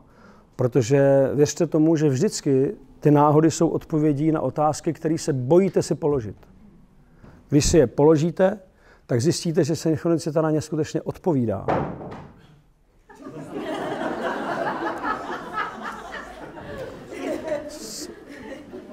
Nevím, jestli tam nebude nějaký příplatek už teda. Pak je ještě jedna věc, poslední, o který bych se chtěl zmínit, než, než vlastně se pustíme do diskuse. Jung k tomu říkal aktivní imaginace. Nevím, jak tomu říct, dneska se tomu třeba říká regres, nebo regrese. Jo? Jako je proto mnoho různých, různých termínů. V podstatě to znamená něco jako bdělá, bdělá eh, meditace, kdy člověk vlastně otevře mysl tomu proudu nevědomí. Pro někoho to je velmi, velmi obtížný, protože to ego mu do toho pořád eh, mluví a nechce uvolnit ten prostor. Jo? Ale víc a víc lidí to už jako ovládá. Tady ten, tady ten moment, kdy si jako kdyby pustí, někdo tomu může říct bdělý snění, ale to se děje většinou spontánně, zatímco tohle řízený proces, kdy člověk se jenom jako posadí, uklidní, zastaví a nechá probíhat tu energii. Jenom ji nechá prostě běžet. Obvykle uvidí něco, co do té doby neviděl. Obvykle uvidí něco, čeho si třeba nevšim. Já bych zase řekl jeden příklad, který pro mě byl jeden z nejsilnějších vůbec z mojí praxe. Chodil ke mně chlapík, dělal grafický design nějakého časopisu, mm, v podstatě přišel s tím, že má jako potíže se stínem, on to takhle a úplně neřekl, ale že temnota a tyhle ty věci ho prostě děsej a říkal, no třeba, já říkám, a řekni mi nějaký příklad, ať si to dovedu představit. Říkal, no třeba včera jsem na obědě s kolegyní a najednou jí říkám, hele, já mám strašnou chuť zabodnout propisku do ruky. Říkám, to asi rozhovor vypadal zajímavě, že jo, jako dál. No a ona prej řekla, proč mi to říkáš? On řekl, abych to nemusel udělat. Tak jsem říkal, no tak asi jo, to je dobrý, že to víte. Asi máte trochu potíže se svým stínem. A pojďme prostě se tomu víc věnovat. Jo. Čím víc jsem ho poznával, tím víc jsem si říkal, tenhle chlap má prostě šamanskou sílu, ale neví o tom. To je vlastně typ, takový ten typický, typický nedorozumění toho moderního člověka, který vlastně tvoří určitý druh spirituální energie, ale myslí si, že dělá grafický design pro časopis. On to vlastně nechápe. Jo? Já si pamatuju, že my jsme měli souseda, který začal šíleně chlastat a jezdil se sanitkou. Já mu říkám, to je Tome, co se ti stalo? A on říkal, protože mám hnusnou práci, která není vůbec k ničemu. Říkám, počkej, ty přece jezdíš se sanitkou, ne? No, přesně. Nějaký hysterky si nás vždycky zavolají. Nebo někdo se předávkoval prostě. Je to k ničemu. A já jsem mu říkal, počkej, počkej, pojďme se u toho chvilku zastavit. Rozumím tomu dobře, že musí přece tam být situace, kdy někdo umírá. Je to tak? No jasně, že jo.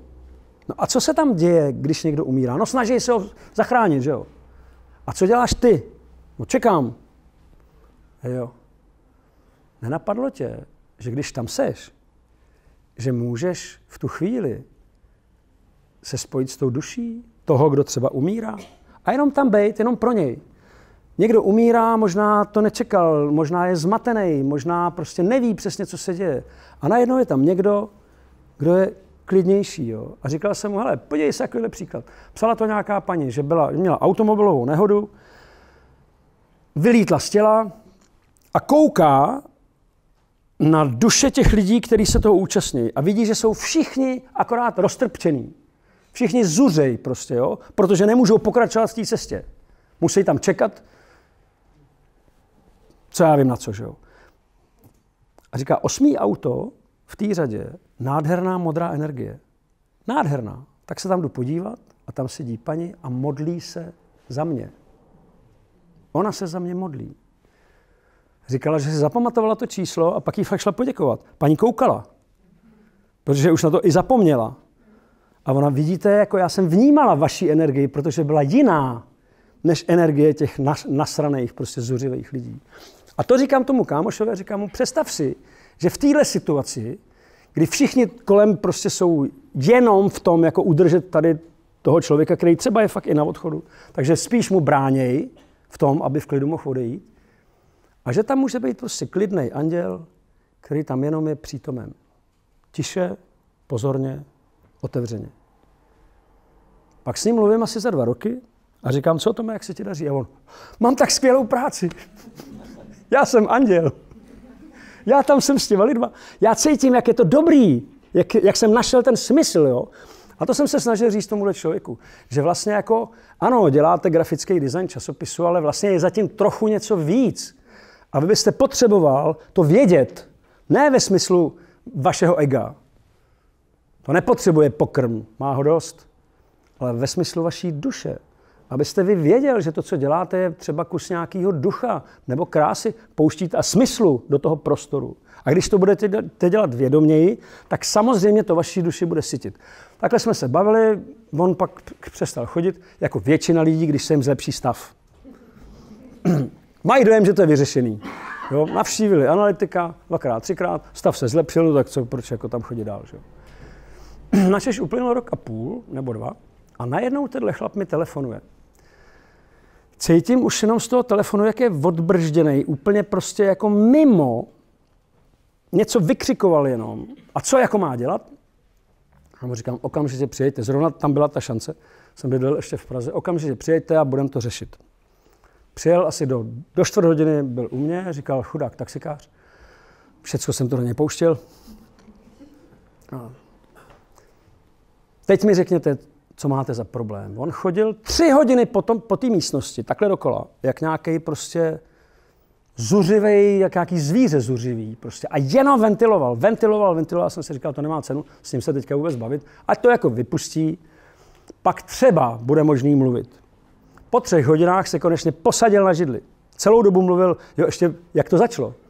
Říkal, já jdu tramvají, čtu noviny. Říkám, první chyba. Noviny co tam jako může být zajímavý. No, čtu ty noviny a čtu, tenkrát byl Zeman premiérem ještě, jo, to už to dostal dost dlouho. On, to možná si vzpomenete, on velmi rád říkal takový jako vtipný bonmoty, myslím, že se tomu říká. On se domníval, že jsou vtipný. Myslím, že to bylo přesně ten typ toho zla, jo, který se pouští do toho prostoru pod tou záminkou, že to je jako vtipný, ve skutečnosti to je čistě zlý, čistý zlo. A tenhle chlap to čte a říká si, tyhle, tak já se prostě musím stydět za svého premiéra, to je strašný. A teď se jako koukne kolem sebe a vidí, jak prostor stemněl. A z lidí vystupují takový tmavý stíny. Tak se rychle radši vrátí k těm novinám. Asi to bude bezpečnější číst ty noviny. Zemětřesení, 15 tisíc lidí mrtvých. Hm? Planeta už si to čistí, už se to s náma vyřizuje. Koukne se a ty stíny už jsou na něm. Ta temnota je prostě na něm. Tak utek, volal a takhle přišel ke mně. Pak to teda jako vy, po těch třech hodinách se konečně posadil a já jsem si říkal, musím zjistit, kde je v tom svém klidu. Jo? A říkám mu, ale řeknu vám věc, která možná se vám líbit nebude, ale zlo je skutečný. Zlo není hypotéza. Zlo je síla, která tady je plně přítomná. Uh, to jste mi neměl říkat. Další hodinu tam takhle pobíhal. Pak už bylo vidět, že přece jen to vyventiloval natolik. Já jsem, měl teda, já jsem děkoval Pánu Bohu, že mám ten čas, že mu ho můžu věnovat. Pak říkám, hejte se, nechtěl byste, to byla chyba, jo, že jsem mu řekl, nechtěl byste společně chvilku meditovat? Meditovat, to já nevím, co je. Co je meditovat? Co podle vás je meditovat? Já jsem četl nějaké knížky o meditaci, já nevím, co je meditace. Tak jsem zase musel čekat. Pak se zase posadil. Říkám, tak ne, ne, ne nebojte se, nebudeme meditovat. Zkusíme jenom jako nechat to běžet. Zkusíme to jenom nechat běžet. Pojďte, tady se posaďte do křesla, zavřete oči a nedělejte nic. Vůbec nic. Já vezmu buben, budu vám bubnovat k tomu na buben a uvidíme, co se nám ukáže. Tomu vlastně se říká ta aktivní imaginace. Bylo teda ohromně zajímavý, že jak jsem začal bubnovat, já jsem jako cítil jeho energii a cítil jsem skutečně ohromnou tíhu, ohromnou, takovou tu, že by vás to úplně přibylo k té zemi. Jo. A protože vím, jak to chodí, tak jsem to nechal být. Ono to samozřejmě jako prošlo, pak se to krásně uvolnilo a cítím, jak tam přichází velmi, velmi zajímavá energie. Spíš takhle zhora. Načeš do bubnu, koukám, on zavřený oči, úplně blažený takovej. Pak se na mě podíval a říkal, já jsem zažil takovou věc. Já vám to snad ani nemůžu říct, vy si budete myslet, že jsem blázen. Pak se zarazil a říkal, no vy vlastně to víte, že já, že jsem blázen, tak vám to říct můžu. A říkám, tak co jste viděl? A on říkal, přesně řekl, že nejdřív tam byla ta tíha, velká, velká, černá, prostě hustá, mračná, takový tíhy. Ale že to taky, ano, prošlo to. Že já jsem mu říkal, nedělejte nic. Ať přijde, co přijde, nedělejte nic. Nechte to celý, prostě ať to jde. Takže to nechal projít a, a říkal, pak teda se mi tam otevíraly nějaké energie ze zhora, takhle to prostě mě různě jako vodilo. A na závěr jsem se sám na sebe díval, jak sedím tady na tom křesle a jsem kostra, která fosforeskujícím světlem svítí. To jsem Magor, říkal. A já jsem říkal, no tak jo, tak podívejte se, tady Eliade tady v té knize píše, že závěrečná zkouška šamanů u toho a toho kmene je prostě spočívá v tom, že ten šaman sám na sebe se dívá, jak svítí jako fosforeskující kostra. Tak kdo tady je blázen? Jako? Vy, nebo ty šamani, nebo ten, co to tady udělal? Kdo? Jo? Myslete si o tom, co chcete. Ale tímhle způsobem se na to můžete podívat. Můžete se dotknout toho, co je teda zatím vědomím. Jo, co tam jako spočívá v podstatě jako neviditelně a přesto naprosto markantně. Jo, jak někde říká Jung, když moje nevědomí mi odmítne spolupracovat, tak nebudu schopný další větu vůbec říct. To nejde. Jo, když to prostě, jak si běží, no tak to běží. Když to neběží, jak to neběží. S tím nic neuděláte. To je prostě to, čemu pak se říká požehnání, že jo? když vám to jaksi jako je umožněno.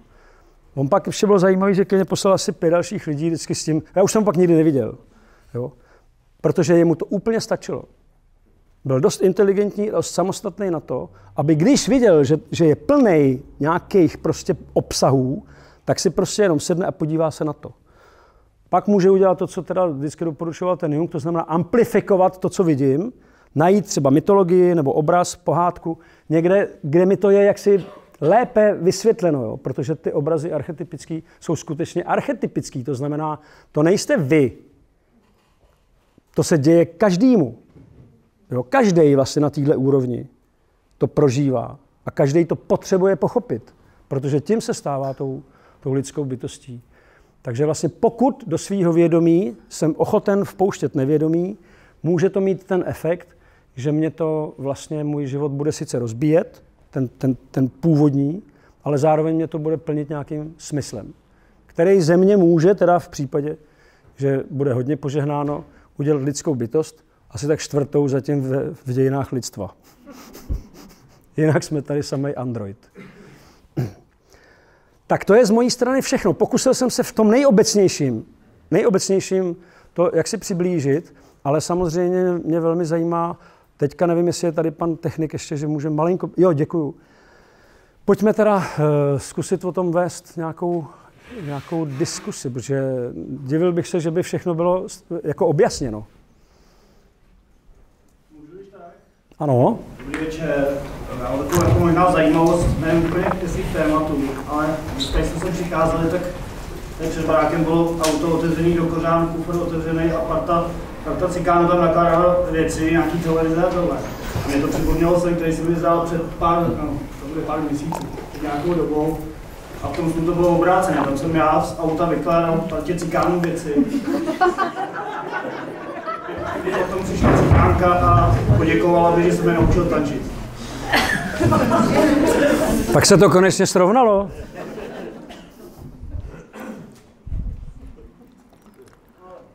A to asi takhle to necháme, ne? Já, já myslím, že jako surrealistický obraz je to skvělý. Dě, děkuju. Mě to připomnělo, jak mi vyprávěl Jarda, když natáčeli nějaký pořad, kde jezdili jako s taxíkem. A tam byla jako kamera, která natáčela vlastně ty lidi, kteří jeli tím taxíkem.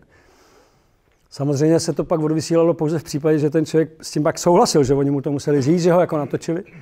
A on říkal, nejšilnější byl chlap, který právě měl nějakou obrovskou televizi. A jezdil po těch bazarech. Jako.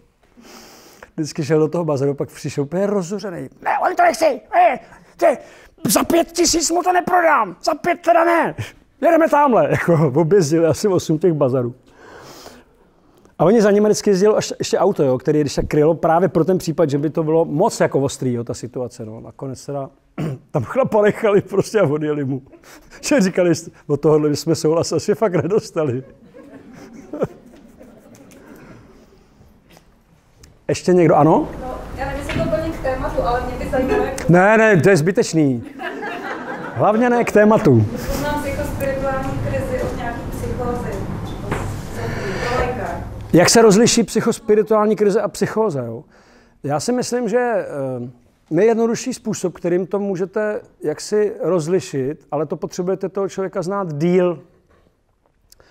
Potřebujete vlastně eh, jako se podívat na nějakou historii minimálně rok, dva, tři dozadu, jo? aby teda bylo vidět něco kontinuálního. A můžu vám říct, že vlastně psychóza jako taková vzniká, ona nemůže vzniknout jinak, než nějakým hrubým omylem, velmi hrubým omylem, na kterým člověk trvá. Já vždycky uvádím ten příklad, který mi přijde úplně nejšílenější.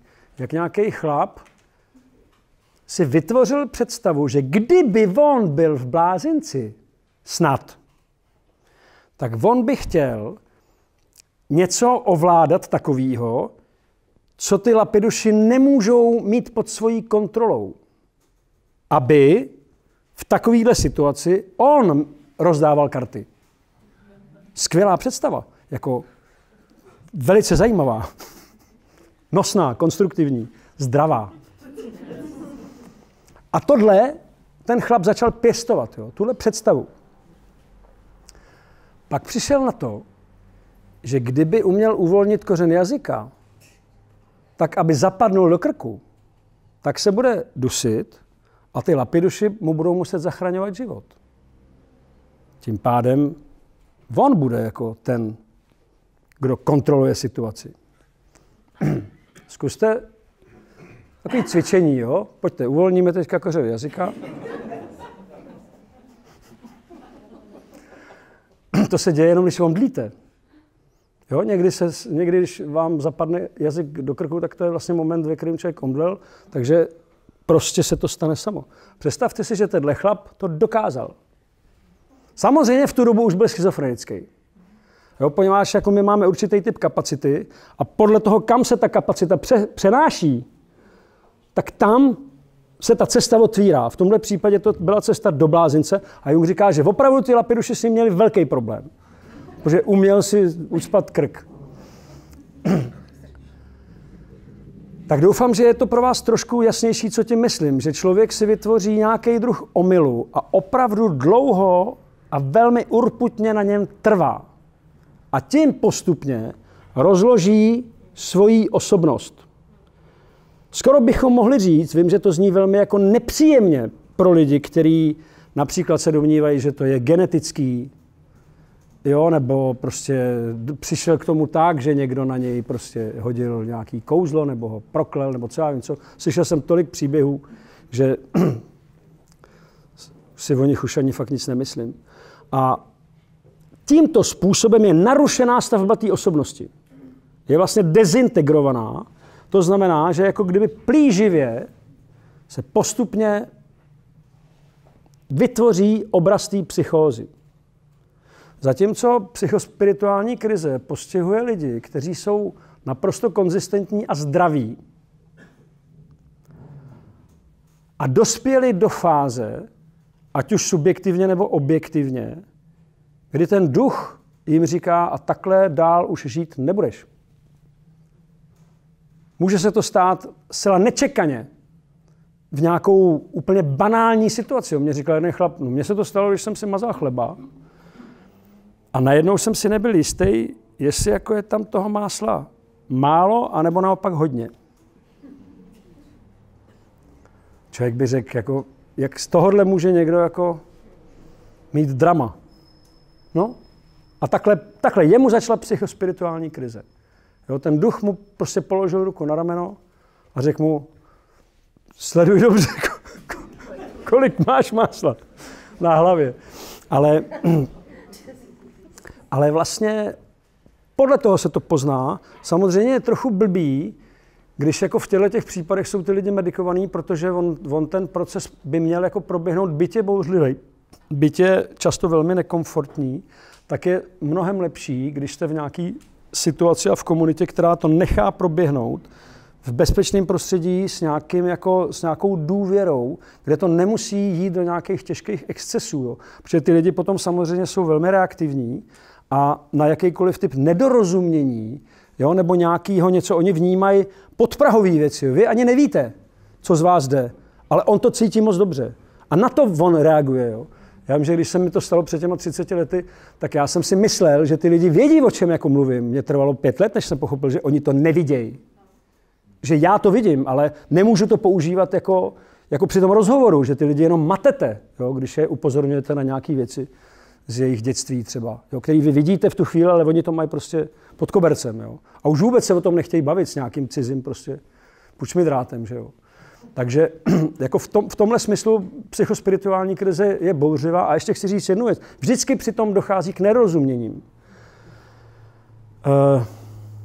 ta určitá opatrnost anebo nejistota, kterou můžete někdy vidět u psychotiků, skutečně pramení z jejich velmi nepříjemného pocitu, který oni mají prakticky permanentně, Totiž, že jejich pohyb, myslím tím pohyb psychosociální, probíhá na velmi nejistý půdě.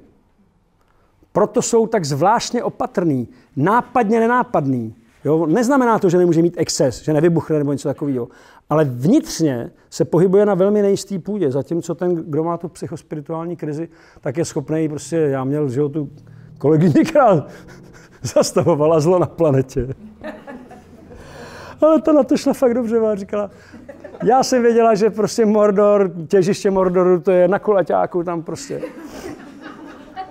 A když tam takhle vběhnu a zastavím ty auta, tak prostě oni budou stát, teď se to takhle zastaví se to celý, tohle to už nebude moc jet, jo? takže se pak budou zastavovat ty, pří, ty přítokové silnice a normálně zastavíme Mordor. Jako, pak samozřejmě viděla, jak jdou na pomoc nějaký mimozemštění než se ukázalo, že jsou to právě ty lapiduše, které ji naložili do, do, do Sanecké a odvezli. Jako ona sice bojovala s velkým zlem jako na této planetě a nakonec to prostě eh, bylo trochu jinak, než, než asi ona původně měla v plánu. A taky je pravda, že tam ty auta dneska normálně jezdí, jo, takže zdá se, že zlo se takhle jednoduše zastavit nedá. I když bychom si to asi přáli. Je to trochu srozumitelný pro vás? Ale třeba ty antipsychotika budou teda fungovat i u psychospirituální krize. Samozřejmě, ale jak říkám, jako, eh, když se podaří, protože jsem mluvil s, s, s x lidma, který prostě nemuseli být medikovaný a nemuseli ani být prostě hospitalizovaný. Zvládli to nějak vlastníma silama a buď velikou sebekázní, že to, co zažívali, by bylo v podstatě jako když papiňáky těsně před výbuchem, ale byli schopní to ovládnout natolik, že mohli se pohybovat mezi lidma. Sice šíleně, jo, ře- řekli, že tři, čtyři roky prostě, jak to říká ten fanánek, tisíce let a seš furt jenom zvět. Jo, furt byli jako na váleční stezce. Furt, jako všechno je jistý, všechno nejasný, jo, všechno velmi, velmi jako napováženou, ale prostě zvládli to tak, že ta integrace vlastně byla jejich věc. Jo. To je nejlepší, co může být, jo, protože samozřejmě nemusíte to s nikým řešit. Jo, jen řešíte to v sobě a s tím, s tím duchem, který vám v tom pomůže. Druhý případy jsou ty, ze kterých to samozřejmě jako vyjíždí ven, to znamená, že jejich nejbližší okolí na to reaguje, rodina, přátelé, a pak je to věc porozumění a tolerance, která pokud tam je, tak taky není nutný, aby ten člověk byl hospitalizovaný. Ale bohužel v mnoha jiných případech prostě to okolí to nedá a odvezou toho člověka prostě někam, že ho tam ho hospitalizují a tak první, co udělají, mu dají nějaký antipsychotika. Samozřejmě, že jo. Protože, jak někde říká Jung, lidé největší odpor, jak už jsem tady dneska řekl, mají k tomu něco si uvědomit. Proč myslíte, že jsme vyr- vyrobili civilizaci? Abychom si nemuseli nic uvědomovat. Civilizace je perfektní. Teda ono si začneme uvědomovat, až se to zhroutí. Jo, to jo, ale to vždycky vypadá, že ještě jako chvíli bude trvat. No. Takže civilizace je perfektní, jako ochrana před uvědoměním si sebe. Můžu taky. Mě by zajímal váš názor, jak jste říkal, vědomí, nevědomí. Ano, Jo, že vlastně to je z hlediska jednotlivce. ano, Ale když potom je tam to nevědomí, tak eh, jestli to nevědomí nemůže být částečně i společný. Že třeba, když nám někdo umře, nebo naši předci, nechají tady nějaký otisk. A zrovna tak, když vy mluvíte o Jungovi, nebo o osobnostech, které kdy, kdysi žili, je možný, že je tam otisk té duše v tom nevědomí. Pro nás, pro všechny přístupný. otisk tam je stoprocentně. Do jaký míry je přístupný, to už je otázka. Protože věci, které vibračně nás přesahují, nám tak snadno přístupné nejsou. My máme přístupný všechno, čím jsme už prošli. To znamená, kdybychom se drželi třeba Hawkinsovské e, kvantifikace, tak bych řekl, pokud jsem na 450, pak všechno, co je po 450, mám plně přístupný. Že prošel jsem tím a vím, co to je. Jo, můžu se tam kdykoliv pohybovat, ale do 600 se jen tak nedostanu. Jo, takhle bych řekl, že to znamená, to znamená, víte, je třeba nesmírně zajímavý příklad, ono jich, ono jich je víc těchto těch příkladů. Jo. Třeba první, kdy jsem o tom začal přemýšlet, byl Aristoteles a Platón, kdy Aristoteles patřil, no on byl nejlepší Platonův žák. On je rozděl, to, ten, to jeho dílo je rozdělené na dvě části. Nejprve to byl Platonův nejlepší žák, nejlíp mu rozuměl, nejlíp jako šel do těch, do těch světů tý, těch ideí, těch věčných ideí, jo? to, co vlastně ten Platón jako primárně, vlastně on taky mluvil že? o archetypovém světě. Takže tam ten Aristoteles jevil ohromný talent do chvíle, než Platon zemřel. A je velmi zajímavý, že vlastně tam se staly zřejmě dvě věci. Pravděpodobně si Aristoteles představoval, že eh, Platon odkáže akademii jemu, jako svýmu favoritovi. Platon se zachoval jako každý normální člověk, odkázal to rodinnému příslušníkovi. Jo? To, takhle prostě celkem krev není voda. Že jo? Takže proč by to odkazoval někomu jinému? Prostě byl vázaný rodem, přesně jak říkáte. Jo? Byli tady nějaký předkové, ke kterým on se vztahoval primárně. Takže se možná Aristoteles trošku naštval a urazil, ale já myslím, že primárně to bylo o tom, že ztratil ten zdroj. On ztratil vlastně toho, skrze kterýho měl přístup k těm vyšším úrovním. A mám dojem, že modernější příklad je taky nápadný. To byl vlastně Krishnamurti, podle mě poslední jako velký avatar, který na této planetě žil. Teda o kterým víme, jo? Hawkins říká, že anonymně tady je nějaká tisícovka, se tady někde pohybuje. Určitě to je někdo z nás. A e, ten Krishnamurti evidentně zprostředkovával velmi, velmi vysokou úroveň vibrační. Taky proto na jeho přednášky chodilo mnoho lidí, kteří později se stali velmi významnýma eh, myslitelama. Třeba Aldous Huxley, jestli ho znáte. Jo? To je ohromně zajímavý chlapík, který byl jak eh, výtvarně nadaný, tak filozoficky. Psal některý velmi zajímavý, takový jako utopický sci-fi, trošku jako příběhy.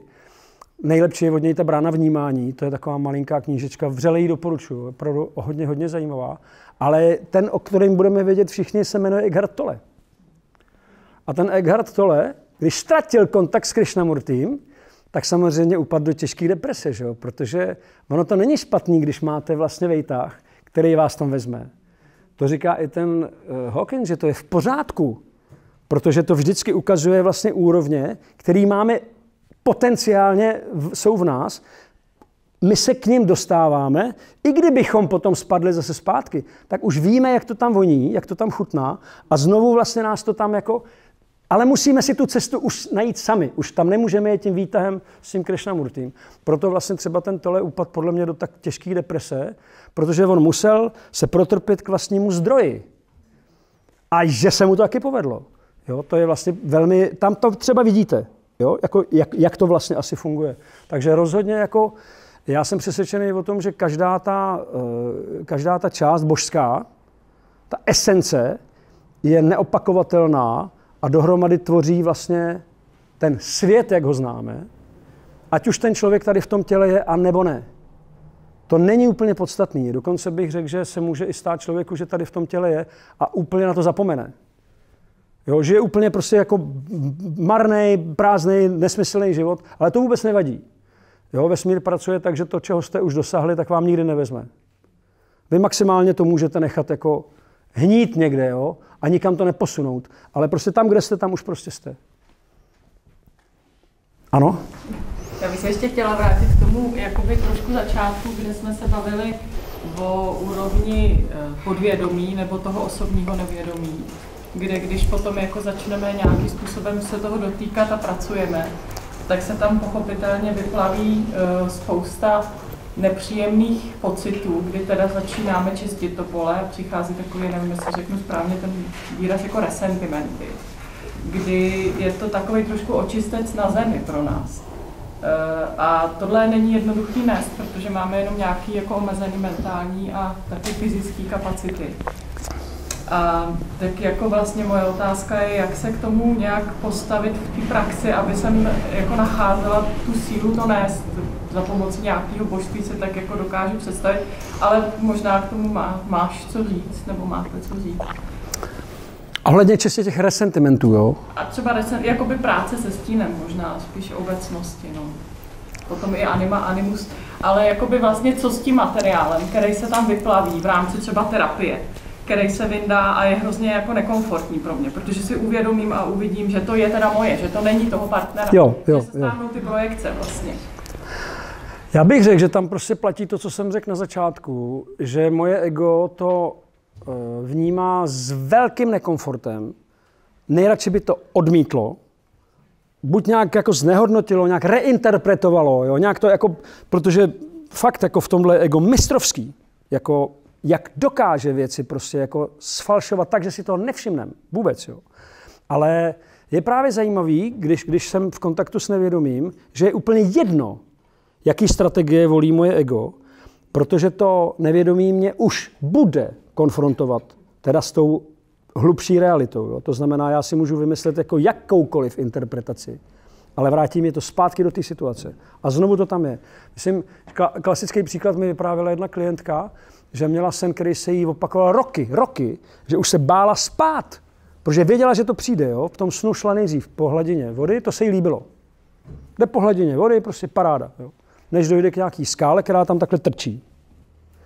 A ona říká, jako potřeboval jsem překonat tu skálu.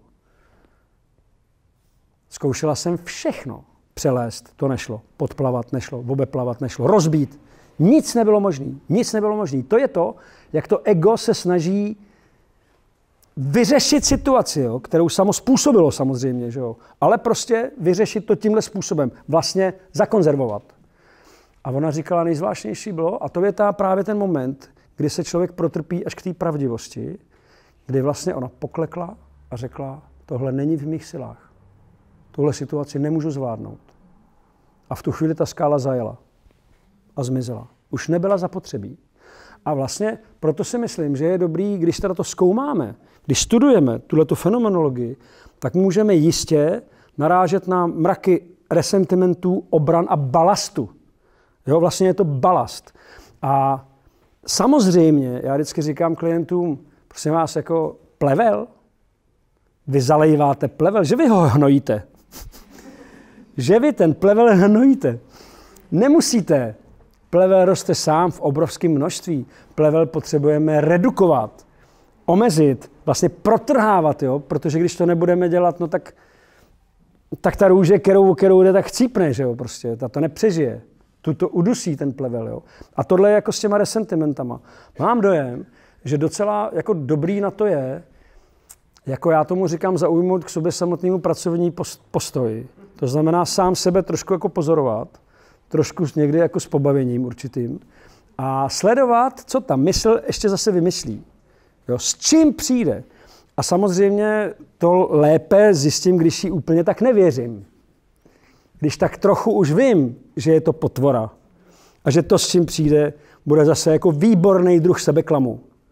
Takže pokud přistupuju k tomu takhle, s určitým typem jako rezervovanosti, jako distance, tak pak líp prohlídnu tu hru těch resentimentů. Protože jinak se mi stane, že se sám nad sebou začnu dojímat, sám sebe začnu litovat, jsem teda na tom fakt tak jako špatně. asi jo, asi jo, nejsem asi dobrý úplně člověk. Jo? A tohle je přesně to, čím tam vznikne ten, eh, ten balast.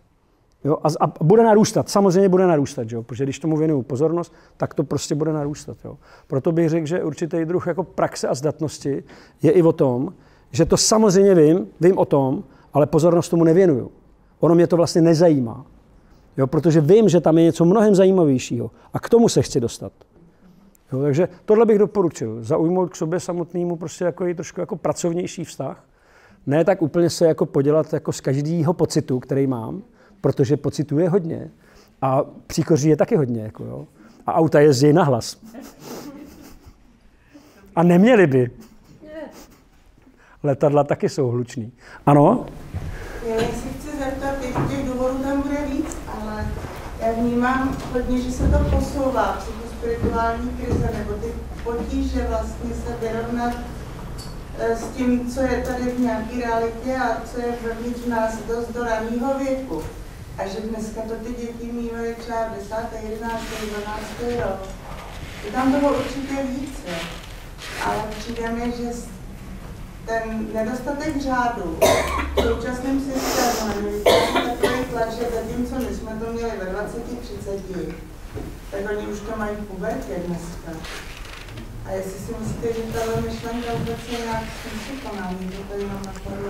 No, bohužel, nebo bohu dík, já nevím, jak to hodnotit, jo? jestli to je dobře nebo špatně, ale je to přesně tak, jak říkáte. Tam je složitý, když pak mluvíte s rodičema dětí, který třeba odešli dobrovolně z toho světa, právě proto, že se jim probudilo to vidění, jsou tam někde sami uprostřed pole, který jede v totálním egu. A oni vlastně, teď mi zrovna vyprávěla jedna paní, to bylo tak šílený. Říkala, já pamatuju tenhle ten můj syn, když začal mluvit. Neříkal máma, táta, Víte, co byly první věty, který říkal tenhle ten chlapec? Já jsem teď člověk? To byly první věty tohohle chlapečka. Já jsem teď člověk? Mudrc prostě, jo, jako, oni se totiž rodějí samozřejmě jako od trochu jiných, jako od, jo, poněvadž jakoby, možná, že už všichni pitomci jsou tady, tak tak teď prostě přišel na řadu nějaký zajímavější prostě lidi. Já fakt nevím, proč to tak je. Ale rozhodně jsou to velmi hluboké bytosti, když někdo rovnou si klade tyhle ty otázky, ona říkala, já jsem věděla, že prostě Nemám co mu nabídnout.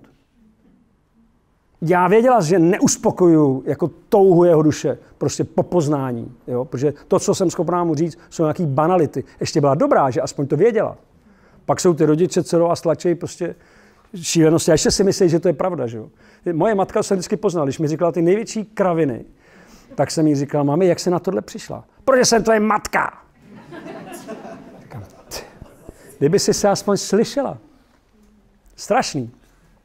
Takže uh, jakoby uh, v tomhle smyslu třeba tato paní říkala, že viděla, jo, že ten chlapec, a bylo mu, myslím, jedenáct, když to udělal. A říkala, že to bylo velmi, velmi zvláštní, protože... A ani nenechal, představte si, ani dopis. No, někdy to nechá, jo? prostě třeba představte si, že jsem na dovolený na místě, kde je mi dobře. Jo? Případně někdy slyšíte zprávy, víte co, vracím se do světla. To se děje tak často, že bychom o tom měli začít uvažovat a vážně. Tady ta paní říkala, že on odešel asi ve tři čtvrtě na deset večer, že se jde projít. Říkala, že to měl vymyšlený tak, že ten vlak, pod který on skočil, jel 22.05 a ona sedí doma a 22.04 ho vidí, jak on přichází a ona mu říká, to bylo nějaký rychlý. On říká, už, jo, on říká, už jsem doma. Už jsem doma. Ona říká, to bylo nějaký rychlý. A druhý den se probudila, věděla, co se stalo. A když samozřejmě, když se na tohle díváte z tohoto úhlu pohledu, tak je to vlastně dost šílený. Jakoby, co se tam vlastně děje? Jako z pohledu těch dětí, protože těch příběhů bohužel už znám víc a mají vždycky společný jmenovatel. A ten společný jmenovatel je, já tady prostě nebudu. V tomhle prostoru.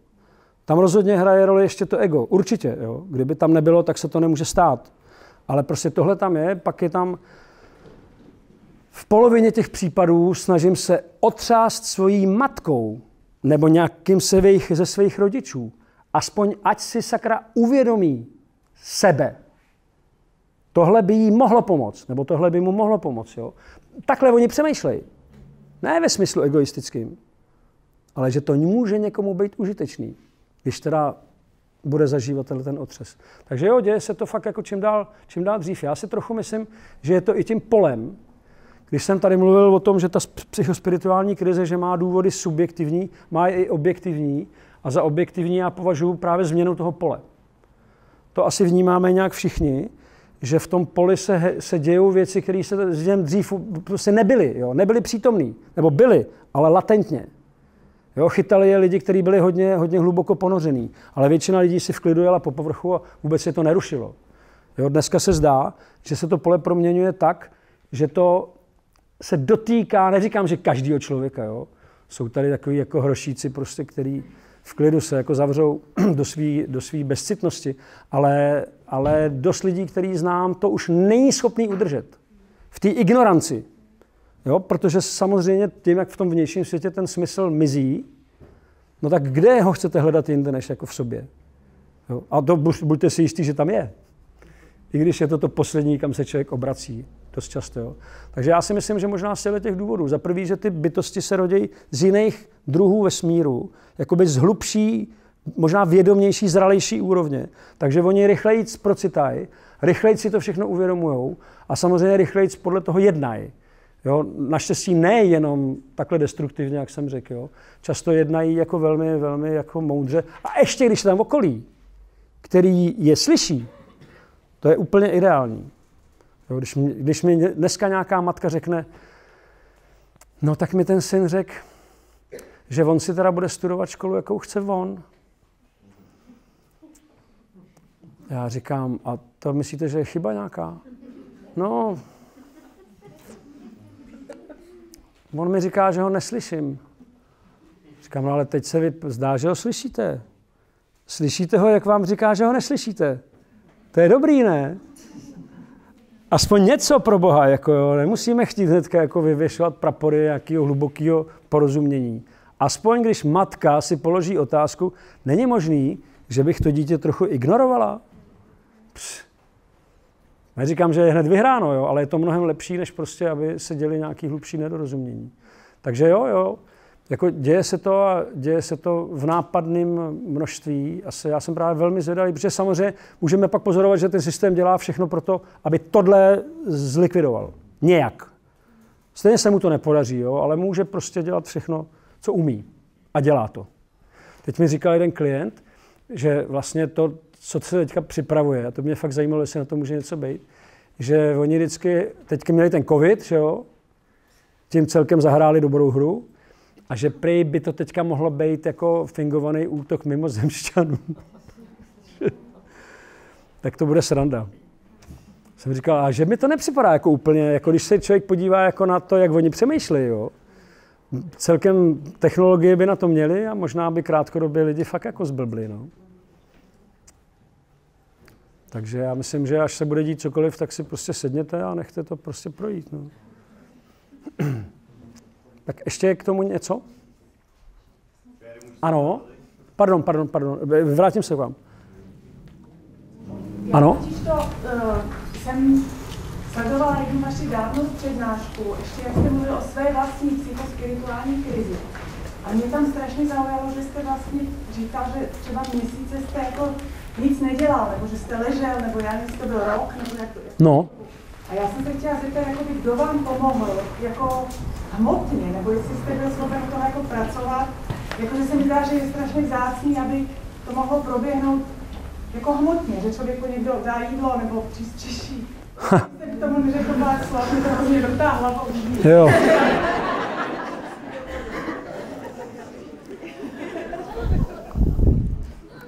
No, já vám, já vám řeknu, že, že jako na základě té své zkušenosti jsem uvažoval o tom, že kdybych jako zakládal nějaký druh instituce, jo, takže by se to jmenovalo zahnívárna. A vy byste tam mohli přijít, složili byste nějaký prachy, ne velký, nějaký, jako pokud možnost, ale předplatíte si třeba rok zahnívárny. Jo? Takže máte prostě místnost, dostanete tam jídlo, Jediný, co by se, že neuklízelo by se, jako jo, to jenom by tam bylo k dispozici, že nemusíte platit složenky, jo, o jídlo se vám postaráme a, a hníte.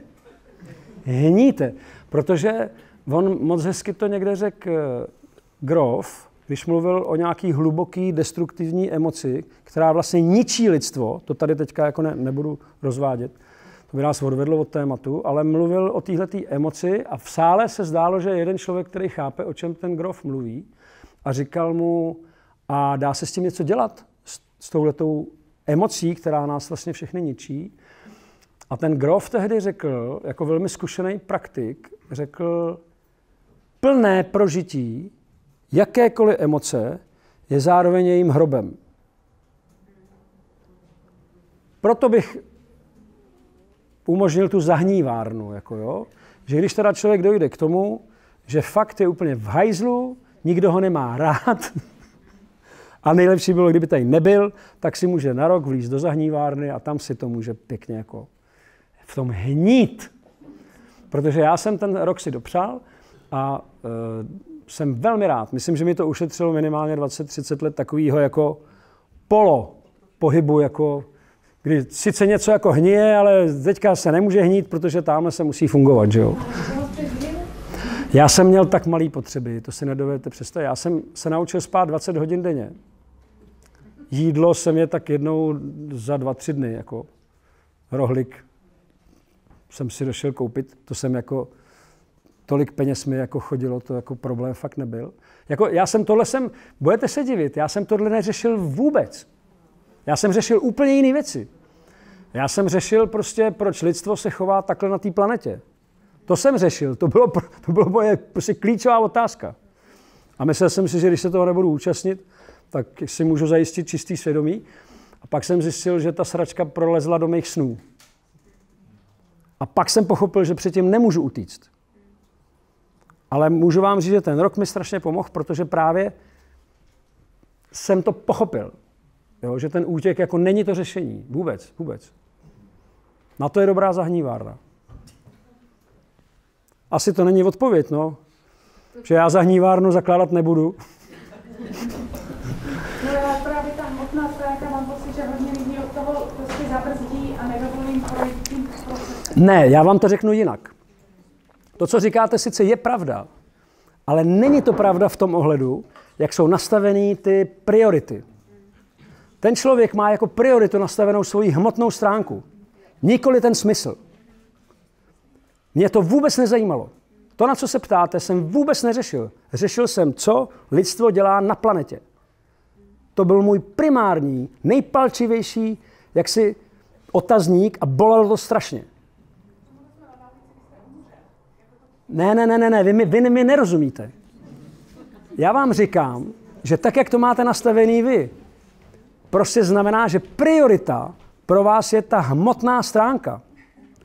Až pro vás nebude hmotná stránka prioritou, pak si můžete dovolit něco takového. Ale taky už asi jste zkušenější a já bych to dneska nikomu nedoporučoval. Ale já do dneska jsem za to velmi rád, že jsem si to jako dopřál.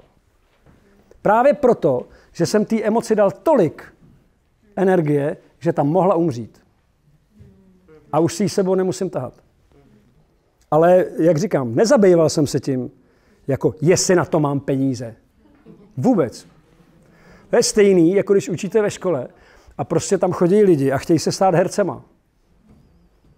Jediný, co můžete udělat, jim jako nezabránit v tom, aby, jako, bych to řekl, je úplně jako znásilnit vlastně. Jo? A pak tam přijde někdo a je to herec. Co ho máte učit? Tam ty si myslíš, že se stanou hercema. Tady ten přišel a rovnou to má. A nemusí až škola, ta, ta ho může jedně poškodit.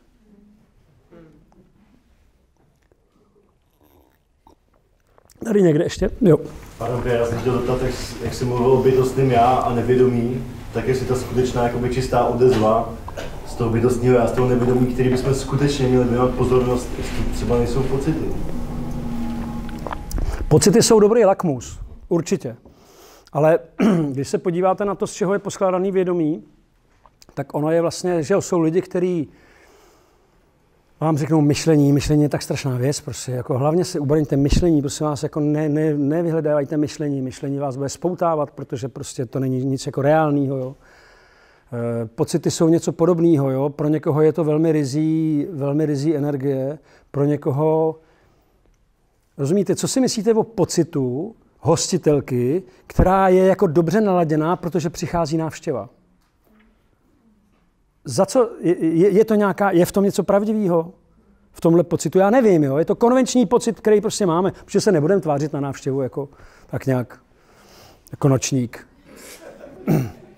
Jo, budeme se usmívat, ne? Pochválíme něco. Jo? Akorát pak odejde návštěva, zavřeme dveře a... Co ty z té návštěvy třeba jako dělá, že je nadšená, ale... Já vím, jo, ale zároveň máte, máte jak, jak chcete jednu věc od sebe odlišovat, máte taky věmy a máte intuice. Jo, v, tom, v tom vědomí je ohromné množství jaksi materiálu, ve kterém se vyznat jako není moc jednoduchý, protože každý ho ještě čte jaksi skrze svoji vlastní speciálnost. Jo? Samozřejmě, proto se mi nechce jako přistoupit na to, že zrovna pocity by mělo být to, co mě jako bude informovat o pravdě. Já bych vám spíš řekl svoji zkušenost, která se týká srdce. Když se podíváte na to, jak pracuje srdce, tak vlastně srdce většinou je zavřený. Protože malí děti nemají zavřený srdce, jo? malí děti mají nádherný otevřený srdce, jsou veselí a šťastný, spontánní, jo? jako jsou... Jako proč vlastně s dětma se cítíte dobře, jo? protože tohle vyzařují do toho prostoru, jo? svobodu, divokost a lásku. Pak zjistěj, že otevřený srdce není dobrá věc, není to výhodný. Jo, nastoupí do jejich života ego a začne jim to srdce zavírat. Je zvláštní, že dneska už se ví, že vlastně pokud jsem v otevřeném srdci, tak jsem plně informovaný. V tom smyslu, o kterém mluvíte vy. To znamená, moje otevřené srdce mi zajišťuje přímý kontakt se zdrojem. Jo, půjdu někam a ukáže se, že to bylo dobře. Nepůjdu někam a ukáže se, že to bylo dobře. Jo, já to nevím, ale v tomto smyslu se nechám vést a ukáže se, že to vždycky bylo dobře. Jo? Že prostě to srdce vede člověka úplně správně. Samozřejmě, že v momentě, kdy to srdce začne zavírat, tak začne dosazovat mysl. spekulativní. Jo? To znamená, ta informovanost už není jako volná a otevřená. Místo informovanosti tam přichází strach, spekulace a něco, co je mimo přítomnost. To znamená dohady. Už ten člověk není informovaný. Je zavřený sám v sobě. A pak může mít mraky jak, jaksi věcí, které se v tom jeho vědomí jako odehrávají. Jo? Někdy mu to může být jasnější, někdy zase třeba ne. Ale když znovu začne otvírat srdce, tak si všimne jedné věci. Znovu vidí, vidí, protože z mýho pohledu srdce je jediný orgán, který můžu vidět skutečnost. Ničím jiným. Všechno ostatní jsou nepřímý odrazy kouřových zrcadel. A člověka jenom zmatou. Ale když je srdce otevřený a průchozí, to znamená, že je svobodný. Jo, není jako, neulpělo někde. Jo, není někde jako zavřený v nějakých závislostech. Je otevřený a průchozí. Tak vidí přesně, co se děje. Úplně přesně. Ale jak to chcete potom převádět do, do myšlenek, pocitů, věmů, intuicí, to je, to je komplikovaný. Jo. Proto může to být tak, jak říkáte, a pocit mě někdy může velmi přesně upozornit. Velmi přesně. Jak se, jako ze srdce právě to jsou jako pocity, jsem si jako myslel vždycky. Já si to úplně nemyslím, jo. Ale samozřejmě tady je těžký, jako já vycházím třeba ze studia mraky nějakých jako literatur, který spíš vám řeknou, že pocity spíš sílejí v břiše. To je zvláštní, jo. Jako, a je to asi tím, že ta druhá čakra je právě ta vodní, ta tekutá, a pocity a cítění je jako tekutý, jo? proto vlastně jako, jako voda v těle a vůbec jako v celém tom prostoru je něco, co eh, jako nás spojuje s pocitama. Jo? My jako muži se v pocitech obvykle moc jako nevyznáme. Jo? Já, já jsem vždycky hrozně rád chodil do sauny, kde ženy spolu jako nemluvějí, ale jenom se na sebe podívají. A často ani to ne. A jako naprosto si předají všechny pocity prostě o tom, který právě přišel. Idiot. No, to není tak špatný. Jako. A, a neřeknou nic, jo, jako vůbec nic. Ale vědí to, že ty ženy to normálně, že se v pocitech právě vyznají. Jo? Pocity jsou jejich, cítění je jejich doména. My jako muži tam jsme trošku jako sloni v porcelánu, my zase máme ty svoje ideje který ty ženy zase jako moc... A ty jsou spíš vzduchu podobný, jo? ty jsou spíš jako vzdušný. Ale mám dojem, že je to velmi, velmi obtížně definovatelný, ale kdybychom si to zkusili přece jen trochu víc představit, tak to srdce poskytuje jako, kdybych to měl říct, jako přímý spojení se skutečností. Ta skutečnost se tam objeví v různých podobách. Je to celkem jedno, jestli to je obraz, vize, pocit, myšlenka, to vlastně není, jo, rozumíte, to srdce si může v tom jako vybírat. Ono to, nemyslím si, že by se to vázalo na jeden konkrétní kanál, na jeden konkrétní zdroj. Tak, takhle to vidím já, takhle to vnímám. Ano? Jestli se můžu zeptat, eh, jak poznat rozdíl mezi tím, když mě někdo irituje a mezi tím... A když mě sere. A mezi tím, když na mě mluví intuice, že ten člověk je nějakým způsobem zlej a že se mu má vyhybat. Eh, když vás někdo irituje, anebo když dostanete zprávu o tom, že ten člověk je prostě zlej, no. já si myslím, že jako skvělá informace a skvělý lakmus je ta emoce. Protože když mě někdo irituje, nebo když mě něco irituje, tak moje emoce se rozhodně bude hejbat. Rozhodně. A tím poznám, že se mě to týká, protože to hýbe se mnou. Jo, ta emoce mnou hýbe, ona mě nedá svobodu, protože mnou pohybuje. Zatímco, když mám tyhle věci zpracované a integrované, tak já můžu vidět, že někdo je zlej, ale mně se to netýká. Jo, a přesně, a řekne mi to moje srdce řekne, tady je to prostě schnilý. Jo? Ale neznamená to, že to se mnou bude hejbat. Naopak, můžu s úsměvem a s laskavostí říct, jako, to je pěkný hnus.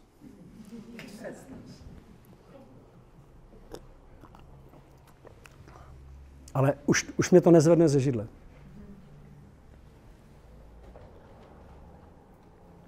Tak mám dojem, že asi pomaličku se nachylujeme, ne? Já teda nevím. Hodinky nesleduju. Má ještě někdo něco? Protože tady něco ještě vysí v prostoru.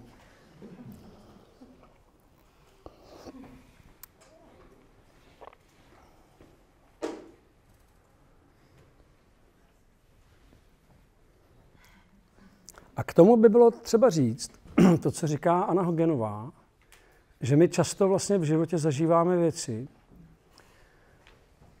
které jsme si ani neplánovali, ani jsme je nechtěli. A ah, tam se někdo hlásí. Tak já to dořeknu pak. Já jsem se teda chtěl zeptat na názor na deja vu. To nějak souvisí teda s tím nevědomým, podvědomým či vědomým. No stoprocentně. Stoprocentně. Ale teda zároveň i jak to souvisí.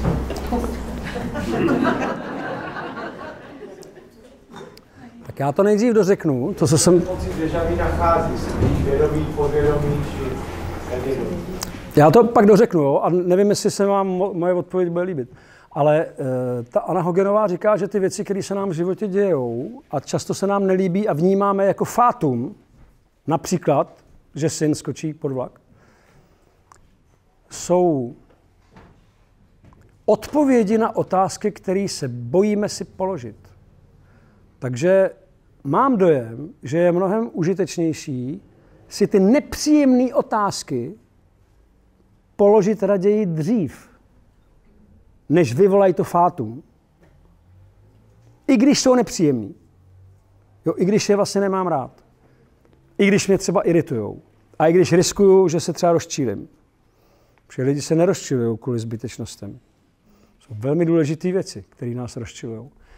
A s tím deja vu, já bych řekl, že já vám odpovím jako z druhé strany. Zkuste si představit, že čas neexistuje. To, co vnímáme jako čas, je určitý druh naučený pozornosti, která vnímá určitý události jako po sobě jdoucí. Ve skutečnosti, někde na té nejhlubší úrovni, každý, kdo se v té meditaci dostává hlouběji a hlouběji a hlouběji, tak vám bude říkat, že je nejzvláštnější ten pocit toho ponoru do té meditace, ve kterým zmizí prostor a čas. Zmizej. Prostě tam nejsou. Co tam je? Říká se, že okamžik stvoření je tady pořád přítomný. Spiritualita nebo nějaký druh eh, zaměření duchovního vlastně neusiluje o nic jiného, než navodit znovu ten stav. Všechny rituály od starého Egypta a Mezopotámie vedly k tomu navodit znovu ten stav. Teď se tvoří svět. Teď se tvoří. V tomto okamžiku. Je to pravda. V tomto okamžiku. Jenže, protože moje... Ty vole. Jde to ze předu do zadu. Ze zadu do předu. Takže to, že tenhle ten stav že jsme s ním ztratili kontakt. Ve skutečnosti ne, ve skutečnosti všichni jsme v tomto stavu. Jsme v něm ukotvení. Ale protože naše mysl a pozornost se naučila lineární hře s tím, co je předtím a co je potom, tak vlastně občas můžeme mít právě zážitky deja vu, které nás upozorňují na to, že tato rozdílnost je pouze iluzorní.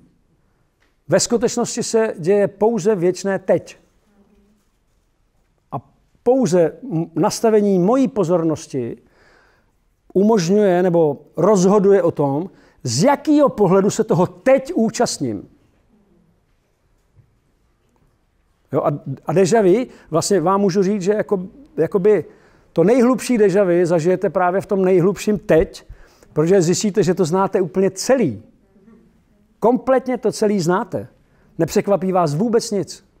Je to tak důvěrně známý, že mizejí všechny otázky. Úplně všechny. A vy to všechno víte. V tu chvíli. Jo, pak zase odstoupíte a už zase vlastně vzniká jakoby ta dualita, s ní teda ten, kolorit, který mu říkáme život. Dneska jsem to zrovna říkal ty paní, já jsem říkal, víte, vůbec nejde o smrt ani o zrození. Jde o kvalitu existence. A kvalitu existence řešíte teď tady. To je to, co teď řešíte. Kvalitu své existence. Jestli umřete, anebo jste se narodili. Jo, neříkám, jsou to důležité věci, rozhodně. Ale nejsou klíčový. Klíčová je kvalita existence. A zrození i smrt jsou cesty k tomu, abychom s tou kvalitou té existence mohli něco udělat. Takže takhle je, je to pro vás trochu srozumitelný s tím dežavy. Ještě bych měl takovou anketní otázku pro všechny. Jaký pocity dežaví má třeba často? Co to je často? To je často. Třikrát za minutu. Jak to říká polívka, že jo, v těch pelíškách. Víte, že víš, jak často průměrná žena myslí na sex? Jako muž asi jednou za 10 minut, že jo, a žena jednou za 3 minuty. A co prý to znamená? Že jsem průměrná žena. Vy jste se ještě hlásil, ano? No, já jsem ještě slyšel teorii ohledně toho deja vu, která je asi trošku jednodušší, ale nevím, jestli je pravdivá. A tam mluví o tom, že, že se to stává ve chvíli, ten pocit toho, že už jsme to zažili, se stává ve chvíli, kdy jedno oko zaznamená impuls rychleji než to, než to druhý, tudíž se nám to v mozku spojí jako něco, co už jsme zažili. Víte co, ono je to vlastně, ta, ta, ta úroveň té iluze je fakt velmi, velmi strukturovaná. A každý objev, který teďka ta věda vlastně uskutečňuje, rozbíjí všechno, co jsme si mysleli. Jo. Oni, vím, že mě nejvíc pobavili, když, se zkoušeli zjistit, jaký spoždění je od impulzu z mozku do toho, že se ten impuls vykoná. Jo. Zjistili, že to úplně naopak. Že prostě to tělo něco dělá a mozek s určitým spožděním sám sebe přesvědčuje o tom, že to řídí. Jo. To je, to doporučuji, přečtěte si Liliho. Liliho a tu knihu Vědec. Jo. Tam zjistíte, jak věci jsou teda jako daleko spletitější, než jak vypadají. Takže právě ta úroveň té iluze, jak je jako poskládaná, je spíš zajímavá v tom to zkoumat. Jo, ale jak říkám, ta podstata je trochu někde jinde. Jo. Ano, ano, ano. Já jsem taky četl různé ty neurologické teorie jo, o tom, že se seběhnou dvě centra v mozku a najednou běží jako synchroně. A mám kamaráda, který měl krásný sen, kdy mu bylo řečeno, že bohové znají veškerou budoucnost a veškerou minulost. To pro ně vůbec není žádný tajemství, ale nejhlubším tajemstvím je přítomnost. A bylo mu sděleno, že právě ti bohové se nezajímají ani o budoucnost, ani o minulost. Zajímají se o to, o tu možnost plně existovat v přítomnosti. A to je ten ilo tempore. To je ten moment, kdy vstupujeme do tak hluboké přítomnosti, že zruší, zruší čas a prostor. Tam to je. Tam to je. A tam vlastně i ten Bůh je opravdu živej. A ani ho nezajímá, co bylo nebo co bude. Jo, o tom právě nejlíp byl schopný mluvit a stělesňovat to ten Krishnamurti. Ještě tady někdo se na něco chtěl ptát? Ano? Já jsem se chtěl zeptat, eh, mně se právě zalíbila ta myšlenka, kdy se dávno vlastně toho směrování k tomu bytostnímu já, k tomu propojení vlastně sám se sebou a nějak se to snažím jakoby v tom životě realizovat. A chtěl bych se zeptat, jako, jestli vlastně kromě toho, že to můžu vlastně jenom pozorovat, ten proces, jestli můžu jako pro to něco udělat, protože tamhle zkušenost je taková, že jsem si třeba hledal nějaké techniky nebo nějaké možnosti, jak to třeba udělat, jak to vyvolat a tak. A vlastně vždycky mi přijde, že i ty situace v životě jsou takové, že mám na nějaké řešení, ale vlastně jakoby ne, nevede to k tomu, co chci.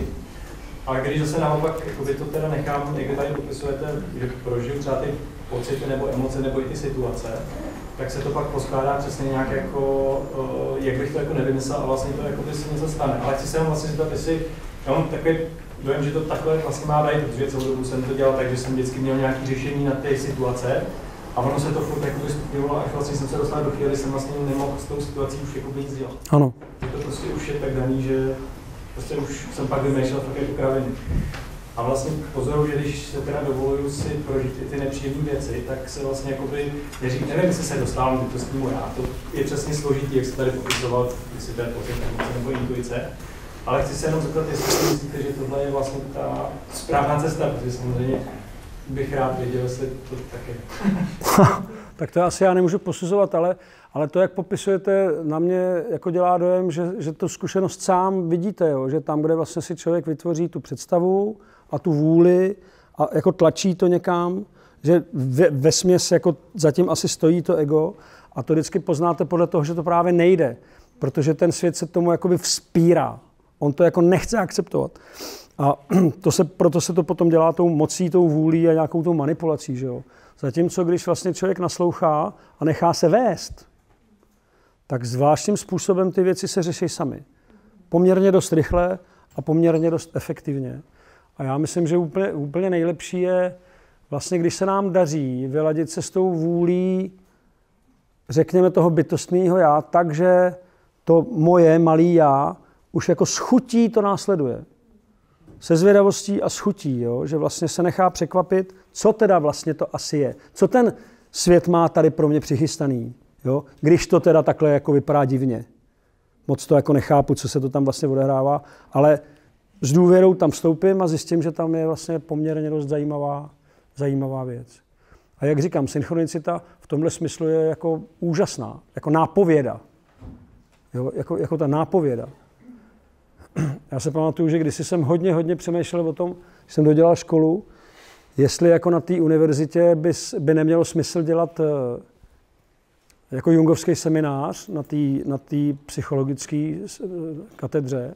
A furt jsem si říkal, ty, já s kým se tam mám bavit. A jo, měl jsem tam spíš jako mnoho odporů, rozpaků, ale jako ten záměr byl jako zřetelný. Říkal jsem si, nebylo by to špatný udělat. A věděl jsem, že jediný, s kým se o tom můžu bavit, je profesor Hoskovec, jo, který pro mě byl jako jediná autorita na té škole.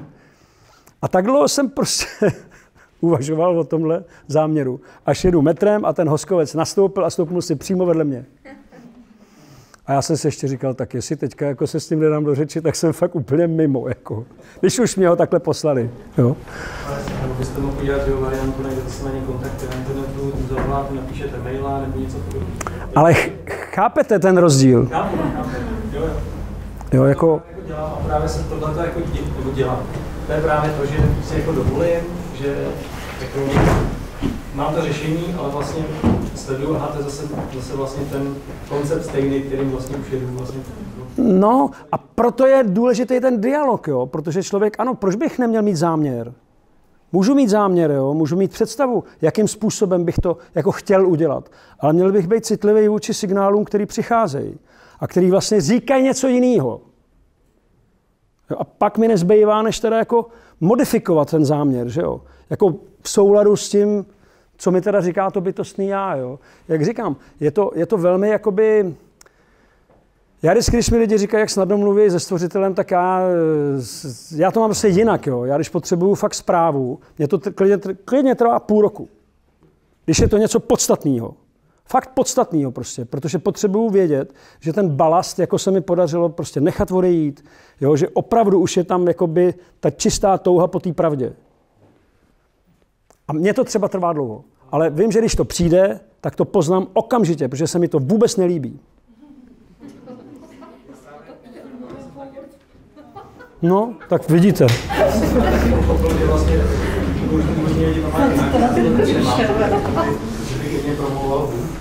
Ale mám to tak jako, že, že asi podobně jako, že, že se to jako stane v tom, v tom životě vlastně nějak. Jo. A že vlastně nikdo mi nepřijde, jako, že mi řekne nějaká vize, teď jdi tam, ale prostě jako ale ono, abych se vrátil tady k té otázce s tím srdcem. Já myslím, že ve skutečnosti je to tak, a i, i s tím il, in, in, ilo tempore, že něco ve mně to ví a vidí pořád. Proto ty lidi po té smrti mají ty, jako se jim zjednoduší ten pohled na ty věci protože ten balast si tam prostě nemůžou vzít. Nebo někdo se o to snaží i tam, ale dlouho to neudrží. Jo. Většinou se mu to rozplyne. A tam najednou uvidí to, co třeba tady fakt vidět jako nemohl nebo nechtěl. A jak říkám, je to většinou je to vel, velký osvobození. Z hlediska těch iluzí, které si pěstujeme. Jo, tak já mám dojem, že asi už to máme.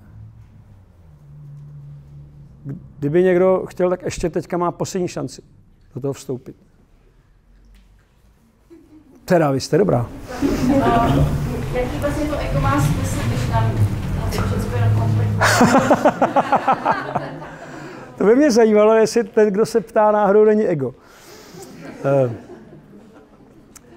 ego má ohromný smysl, jo? protože eh, když se podíváte vlastně na to, jak vesmír je tvořený, tak on má zvláštní rytmy, jakoby nádech a výdech. A e, říkalo se tomu vždycky Brahmův den a Brahmova noc. My teďka zdá se, jsme uprostřed Brahmova dne, kdy vlastně velká část božství je zaměstnaná tvorbou hmotného světa. Což jako není úplně jednoduchá věc, jo? Ono, nám to tak třeba připadá jednoduchý, ale jako vyžaduje to nějaký druh energie a pozornosti. A děje se to proto, že vlastně skrze tento typ iluze získáváme ohromné množství zkušeností a poznání, jo, který z toho plyne samozřejmě. Jako když ty včely takhle lítají po té louce a potom složej ten med v tom úlu. Tam se to jakoby sbírá, jo, ta, ta kvalita té informace. A proto i po smrti, jo, vlastně by se dalo říct, esence života každého člověka přechází tady do toho, jo, do toho společného jakoby vědění.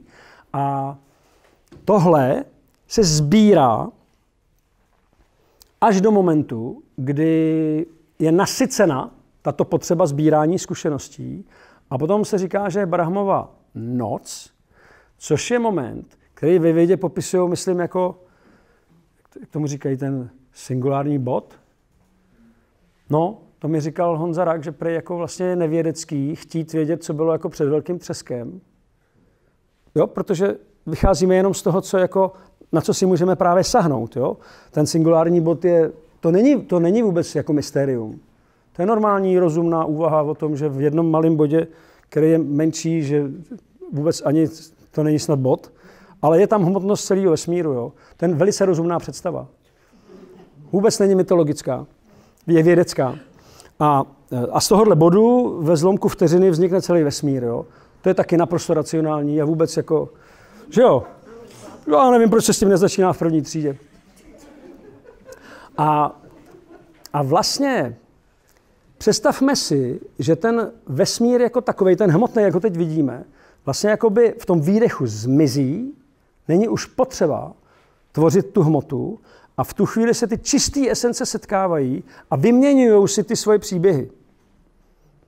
Jo, protože, jak říkám, najednou to vidějí v čisté podobě, s tím hlubokým porozuměním.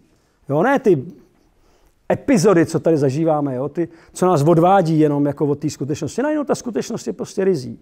A z toho vychází vibrační navýšení té společné zkušenosti, než se znovu tvoří ten další Brahmův den, jo, kdy znovu vlastně vzniká ta skutečnost, teda skutečnost, ta je tam furt, ale ten její hmotný projev. A představte si, že všechno, co ten vesmír už ví, leží v egu. Respektive Vědci tomu říkají entropie. Jo, říkají, že to je vlastně rozkladná síla, která má tendenci jako k nehybnosti. Když mi to vysvětloval nějaký fyzik, říkal, entropie je vlastně tendence k nehybnosti. To znamená, jak říkám, je to to, co vesmír už ví. A odtud pochází i ego. Ego není tupý. Ego dokáže být neuvěřitelně vynalézavý a velmi, velmi jako myslím, bystrý. Jediný, co mu chybí oproti skutečnosti, je kreativita. Tu nikdy mít nebude. Nemůže být v přítomnosti. Umí skopírovat všechno dokonale. Ale nemůže být v přítomnosti. Tam totiž se ego rozplývá. Jo? V tom je smysl toho ega. Ono nám jako kdyby nastavuje určitý hranice. Samozřejmě, že čím jsme jako vyspělejší, tím víc trpíme, když se nás ego zmocňuje, Jo, to člověk cítí velmi dobře, že mu v tom není, není dobře, prostě je, je, je v tom jako, je, cítí se zmanipulovaný, že jo, sám sebou nebo tím egem. A pak se učí, jak se z toho vymanit, to znamená, jak tomu jako nevěnovat tolik té pozornosti, i když to tu pozornost samozřejmě chce. Takže z mýho pohledu, jakoby ego pramení v entropii,